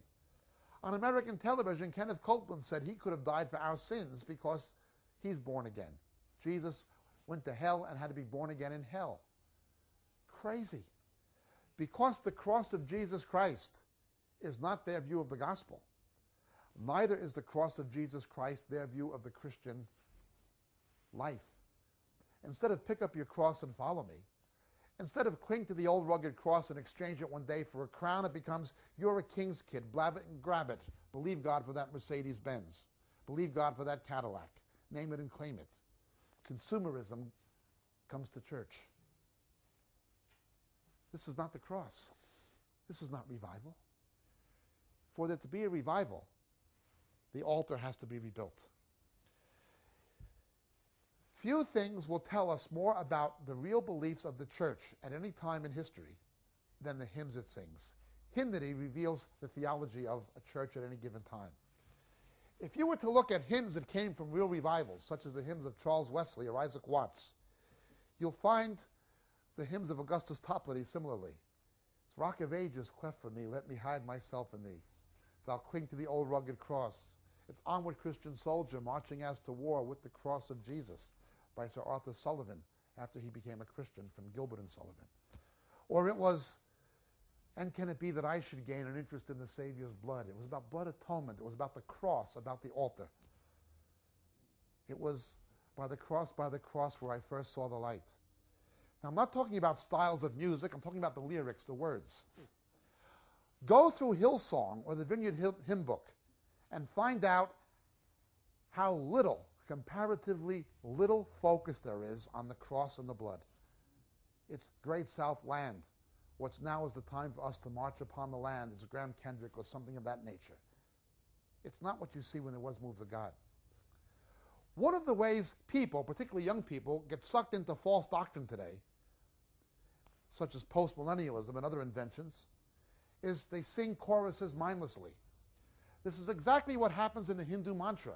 They empty themselves, trying to open themselves to a spiritual influence, which they vainly imagine to be the Holy Spirit, and they begin repeating something mindlessly. The Om becomes their mantra. Well, they sing these choruses, but they have no idea what they're singing is not biblical. No idea. Come, Holy Spirit, let your fire fall. Come, Holy Spirit. It's not the Holy Spirit. It's not biblical. Not the Holy Spirit. Not biblical worship. It's a mantra. It is effectively Hinduism. People get absorbed into the theology via mindlessly singing hymns repetitively, as you would in a Hindu mantra. It is a combination of spiritual seduction and hypnotic induction. Psychology and New Age religious philosophy. Masquerading as biblically Christian, but it's not biblical and it's not Christian. The altar must be restored there must be a radical return to the centrality of the cross and the themes of the cross and the blood. That's what happens in a real revival. Now we see what transpires here. When that happens, many defect to him from not only Ephraim, but Manasseh, Simeon. People from the northern tribes come south to the throne of David and the house of David to where the ark of the Lord was in Jerusalem. When there's a real move of God, people will leave the bad churches for the good ones. We have made an idol out of unity, but it's not the unity of the Spirit. the idol we've made out of unity is not the unity of the Spirit, it is a man made unity. The unity of the Spirit depends on truth. The Holy Spirit is the Spirit of truth. And once in America at a conference, had a very silly woman telling me we shouldn't worry about the doctrines of other Christians because Jesus prayed we should be one. Therefore, you throw truth out the window for the sake of unity. It's not biblical. If you would read that prayer in context, you'd see that Jesus prayed, Father, sanctify them in the truth, thy word is truth.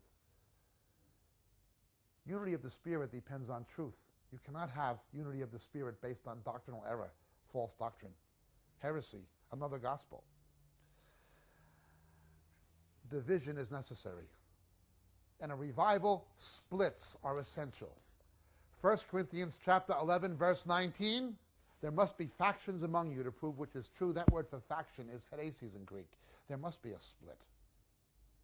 Romans 16, 17, mark a factious man who depart from the tradition you've received.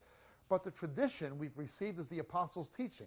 When people deviate from the New Testament, they're the ones who are factious, not the ones who remain loyal to the Bible. For revival to come, people must weep before they laugh. They must tear down before they build. They must command and not invite. They must return radically to the cross but they also must divide, split. The early Jewish Christians, the Messianic Jews, would not compromise the truth of the Messiahship of Yeshua, of Jesus. They were forced out of the synagogue and the temple. The early Methodists were forced out of the Church of England. Luther, for all of his faults, and he had plenty and he got a lot wrong, but he did not begin trying to begin another religion. He began by trying to reform the Roman church from within, as Erasmus did, and failed. Of course, Jeremiah 51 tells us why Babylon cannot be healed. However, he was forced out. The Reformation was a split. The day of Pentecost heralded a split. A split. The vision is necessary for there to be a revival good Christians should leave backslidden churches. Good churches should leave backslidden denominations. How can you remain part of a denomination that will ordain homosexuals like the Uniting Church or the Methodists or the Presbyterians? How can you remain part of a denomination that will get in bed with Roman Catholicism? How can you do that? Good Christians need to leave bad churches and take as many with them as they can. Good pastors need to lead their congregations out of these corrupted institutions. People need to leave Ephraim, Simeon, and Manasseh and come to Judah and Benjamin. In a revival, not only will people be saved, but people will leave bad churches for good ones. They will leave backslidden denominations and institutional religions for where God really is, for where there's holiness. We must have a split. We must have a division. Revival depends not on an artificial unity, but a unity of the Spirit. And where is that unity of the Spirit? Where it's real and genuine, there will be a division. There must be a split. In order for revival to come, there must be a dividing. Asa understood that. The people made an oath and they blew the trumpets. This imagery to any Jew harkens back to the story of Jericho when they first entered the land, when they first began as a nation to conquer, their beginnings under Joshua, when they blew the trumpets and gave the great shout and the walls came down. In a revival, you always go back to your origins. Our origins are not Jericho, but our origins are the book of Acts. A radical return to apostolic models of ecclesiology. Not so much in terms of a program, but in terms of principles. We need to go back to the book of Acts and do so radically. You cannot leave unbiblical practices in place. We have to go back to our true heritage of the apostolic church. This also King Asa understood. This man never got anything wrong. Good to better, better to better still, and then unbelievably good. Let's look what happens in verse 16. He also removed Ma'akah, the mother of King Asa, from position of queen mother, because she had made a horrid image as an Asherah. And Asa cut down her horrid image, crushed it, and burned it in the brook of Kidron. Actually, she was not his mother, but his grandmother. No nepotism, no family loyalties. As Jesus said, He who loves father or mother more than me is not worthy of me. I love my Catholic mother. But my Catholic mother at this moment is on her way to hell. She's battled cancer. She's getting older. Yet she trusts in a statue of Mary and in a scapular for her salvation instead of in the blood of Jesus Christ. She believes in idolatry, superstition, necromancy. There's a cemetery in Donegal, Ireland, where there's generations of my mother's family buried. Every time I drive past it, I speak at a local congregation there of, of born again believers, mainly ex Catholics.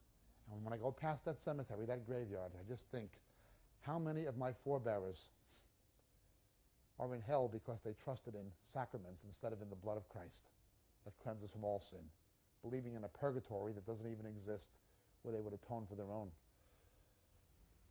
Get rid of the image, the horrid image. Get rid of that Madonna.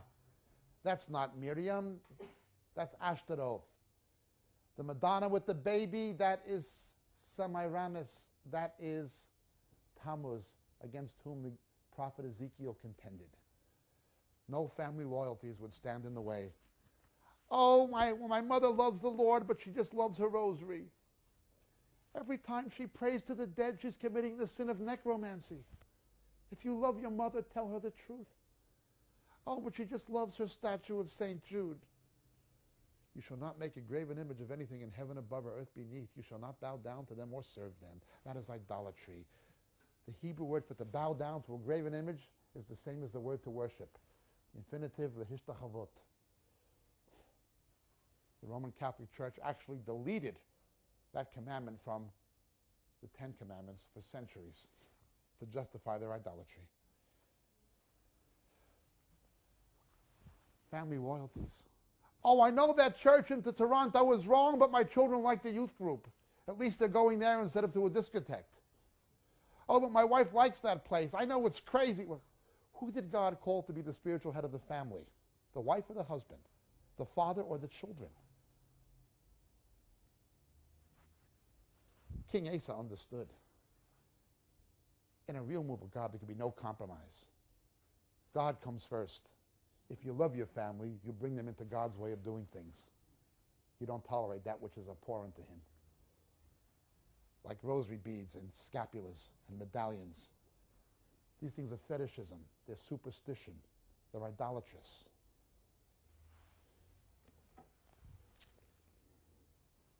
Find them in the Bible, except where they're condemned.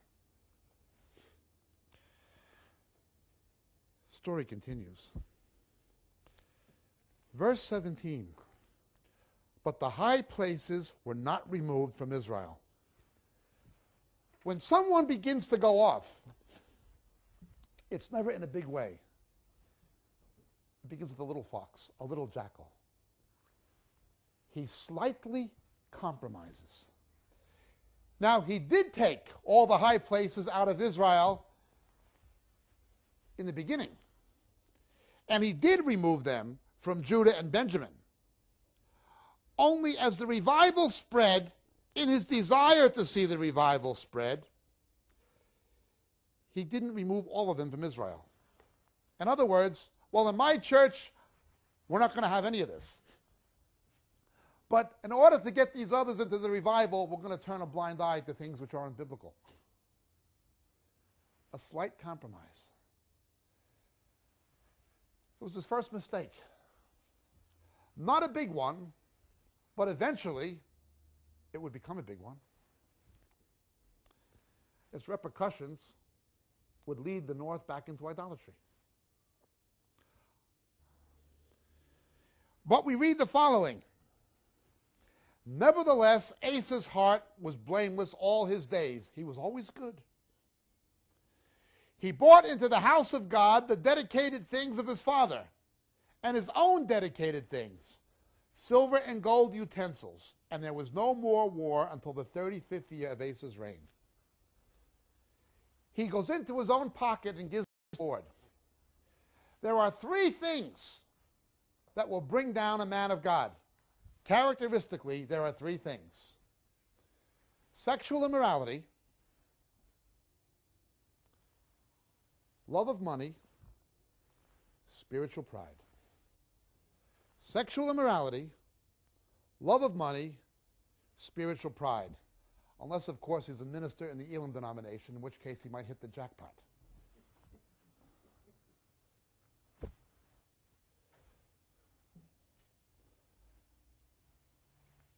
Fooling around with women, that wasn't his thing. It ran in the family, going back to Solomon. Messing around with broads, he wasn't into that. He didn't do that. That wasn't his thing. He wasn't a womanizer.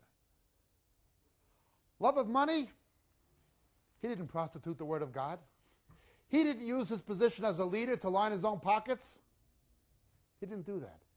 Rather, he went into his own pocket and gave to the Lord. His weakness was not women, his weakness was not love of money. That leaves the big one the pride that cometh before the fall.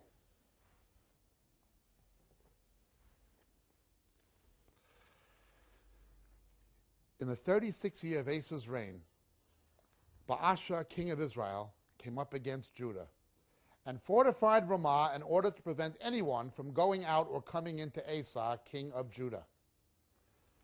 Remember, people were defecting to him. The kings of Israel in the north were so desperate to keep the people and the numbers and the wealth that they, going back to Jeroboam, they put golden calves at Dan and in Bethel at the northern and southern extremities of Israel. So people would hearken back to the sin of, of Aaron, worshiping the golden calves in the Sinai and in the, in the desert, rather than go to Jerusalem for the pilgrim feasts. But people began defecting.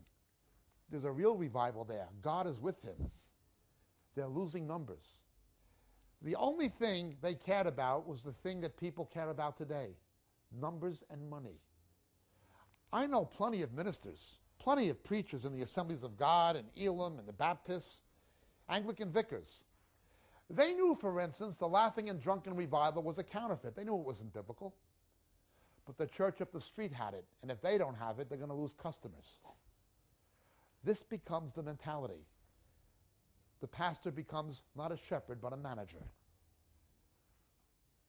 Ministry becomes marketing. They're no longer running a congregation, they're running an enterprise. We're losing numbers. We've got to do something. So he fortifies Ramah, an elevated point overlooking Jerusalem from the north slightly to the northwest. And he's there, and a siege begins. But look what happens. Verse 2 Then Asa bought out silver and gold from the treasuries of the house of the Lord and the king's house, and sent them to Benhadad, king of Aram, who lived in Damascus, saying, Let there be a treaty between you and me, as between my father and your father. Behold, I have sent you silver and gold. Go, break your treaty with Baasha, king of Israel, so that he will withdraw from me. So Benhadad listened to King Asa and sent the commanders of his armies against the cities of Israel. And they conquered Ijon and Dan and Abel Maim, which means the waters of mourning, and all the store cities of Naphtali. And when Baasha heard of it, he ceased fortifying Ramah and stopped his work. Then King Asa bought all Judah, and they carried away the stones of Ramah and its timber with which Baasha had been building and with them he fortified Geba and Mitzpah. He made what seemed to be a good management decision. And he even profited from the opposition.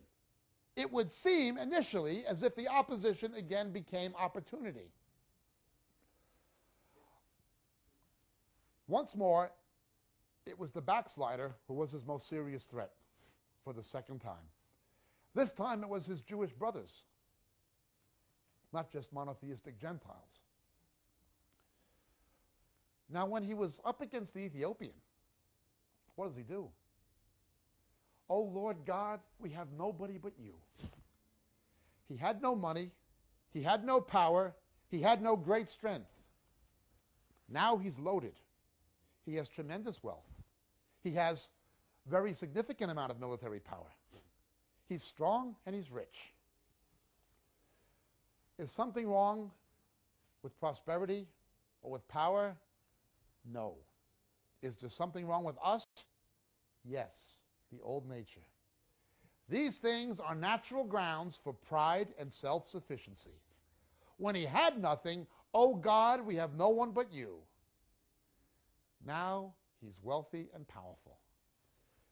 Get me that king up in Damascus on the telephone. Hello. How much is that worthless cousin of mine paying you? I'll double it. You take Visa?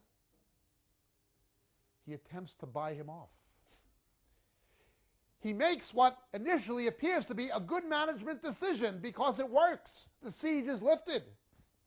And he takes the booty and he uses it to fortify Mitzpah. And he uses it to fortify Geba. Well, I bought him off, that's it. We're doing good. So he thought. What happens next? At that time, Hanani the seer came to Asa, king of Judah, and said to him, Because you have relied on the king of Aram and have not relied on the Lord your God, therefore the army of the king of Aram has escaped out of your hand.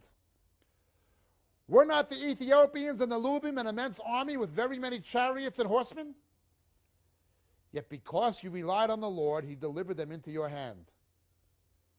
For the eyes of the Lord move to and fro throughout the earth, that he may strongly support those whose heart is completely his. You have acted foolishly in this. Indeed, from now on you will surely have wars. He thought he made a good management decision.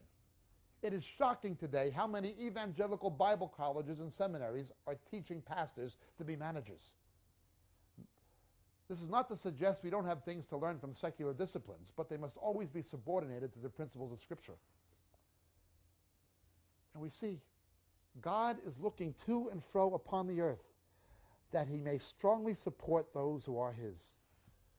We're told that God knows what we need before we even ask him. It's a very assuring thing for a believer to know that God is looking to help us. Who can I help? Who can I help? I'm looking for someone to help. God is looking to help us before we even know we need the help. One condition our hearts must be truly His. There's a problem here. It's like if you pay a blackmailer, he'll always be back for more because he knows he can get it. Don't you see that God not only wanted to give you victory over the king of Israel, but over the king of Aram? God wanted to give you all of it? He wanted to give you that guy? He wanted to give you that booty as well from Aram? God wanted you to have all of it. Now you've blown it. You're going to have wars from now on. You relied on your wealth and power. You relied on the blessing instead of the one who blesses. You rely on the gift instead of the giver. You got a problem. The problem was not the wealth or the power. The problem was pride. Self sufficiency. Look how he responds.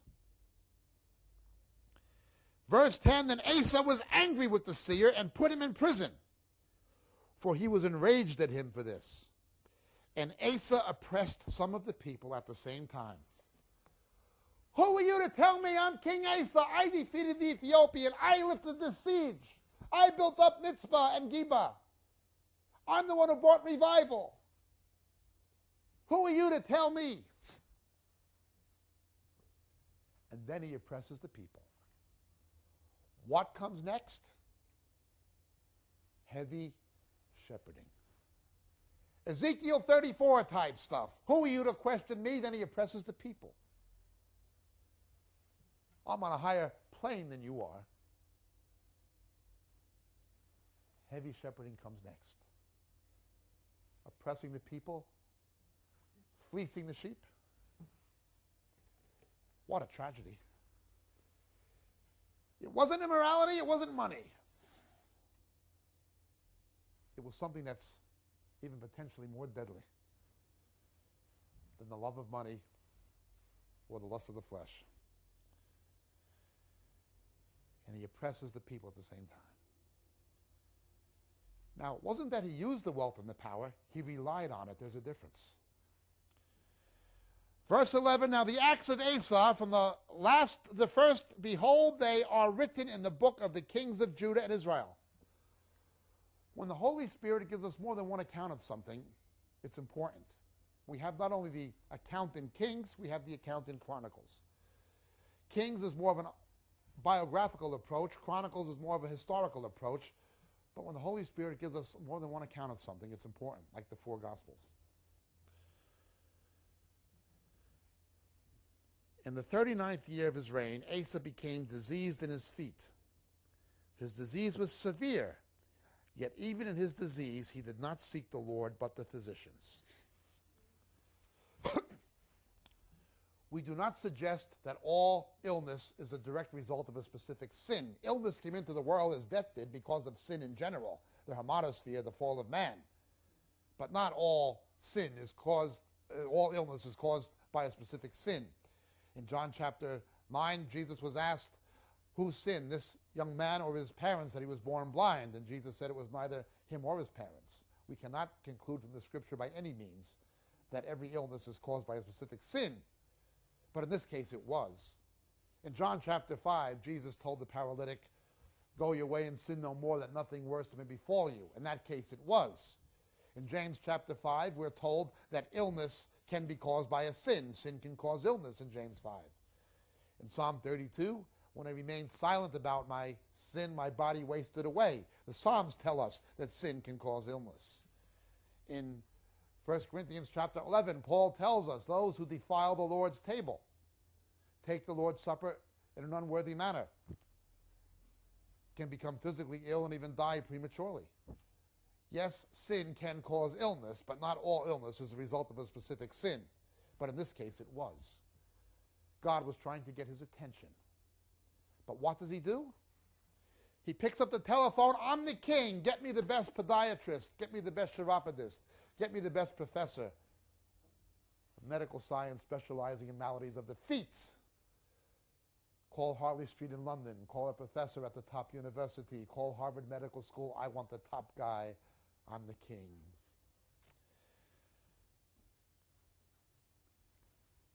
He relies on physicians. He relies on wealth. He relies on power. Not that God can't use these things, but we rely on the Lord. Never take an aspirin without praying. Whenever you get involved with the world's health system, its financial system, its legal system, its government, its education system, whenever you get involved with the world, never rely on it and have God's wisdom before you go to it. He didn't do that. He did not seek the Lord but the physicians. You call the physicians, but you first seek the Lord. You might use the blessings, but you first seek the one who blesses. We might use temporal things under God's guidance and direction, but we never rely on them. He did. Now he had them. When he didn't have them, he only trusted God. Again, problem was pride. Whatever was wrong with his feet, it was something serious. We're told it was severe. It was not simply this hydrogenous dermatitis or athlete's foot, probably not even gout. It may have been something symptomatic of diabetes, elephantitis, we don't know, but it had the potential to kill him. So Asa slept with his fathers, having died in the 41st year of his reign. Who knows how many more years he might have had? They buried him in his own tomb, which he'd cut out for himself in the city of David.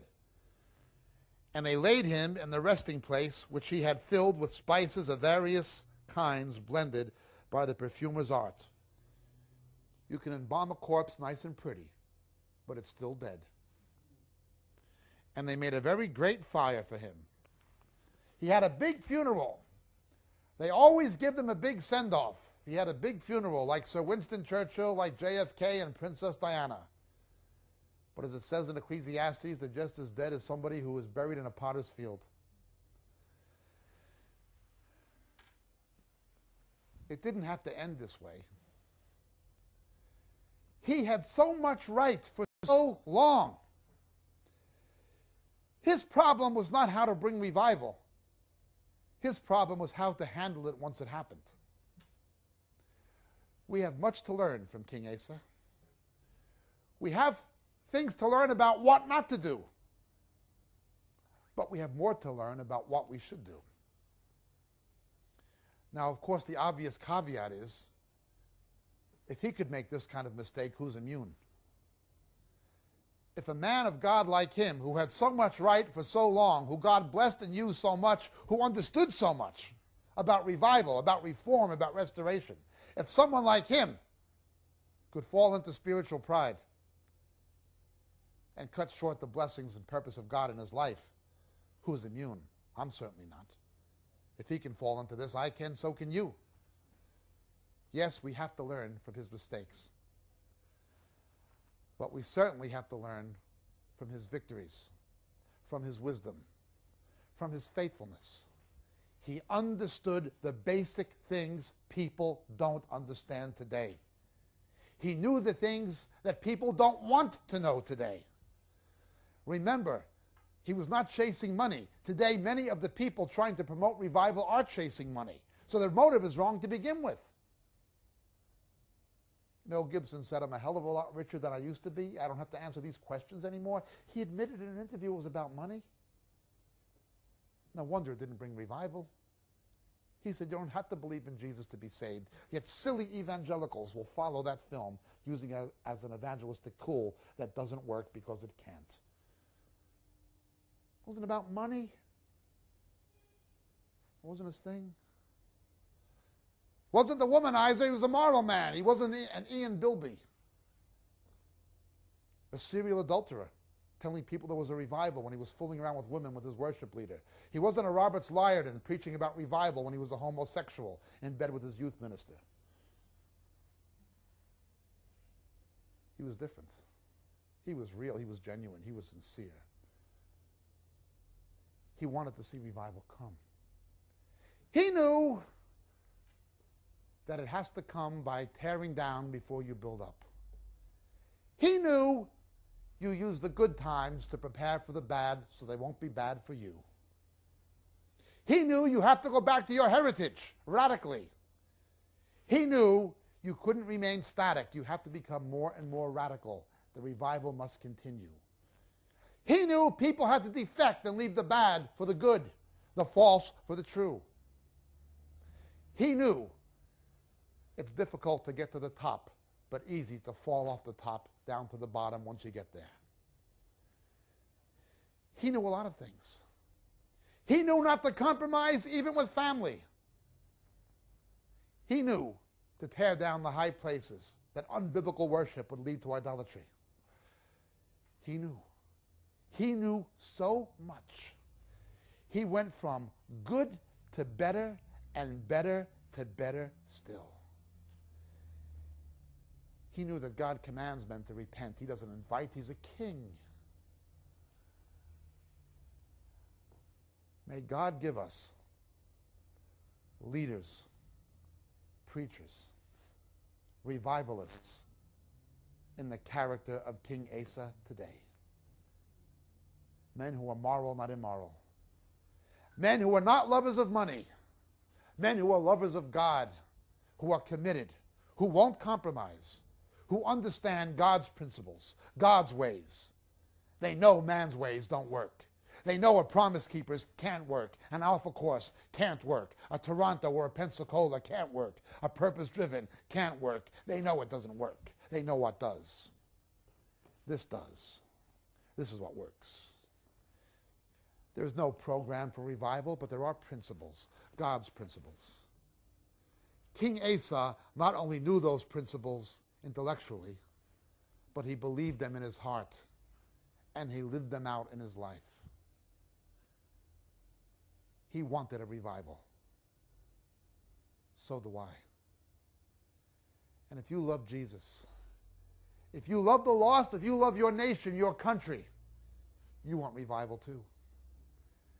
If it's going to come, it's not going to come from the flavor of the month, from the latest fad the program. It's not going to come from the Toronto, the Pensacola, or the Kansas City.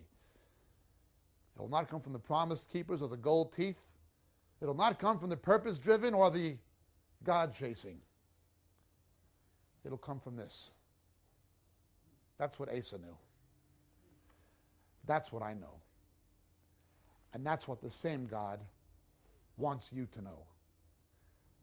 God bless and thank you. My name is Jacob Prasch. May the Lord be with you. In Jesus' name, amen.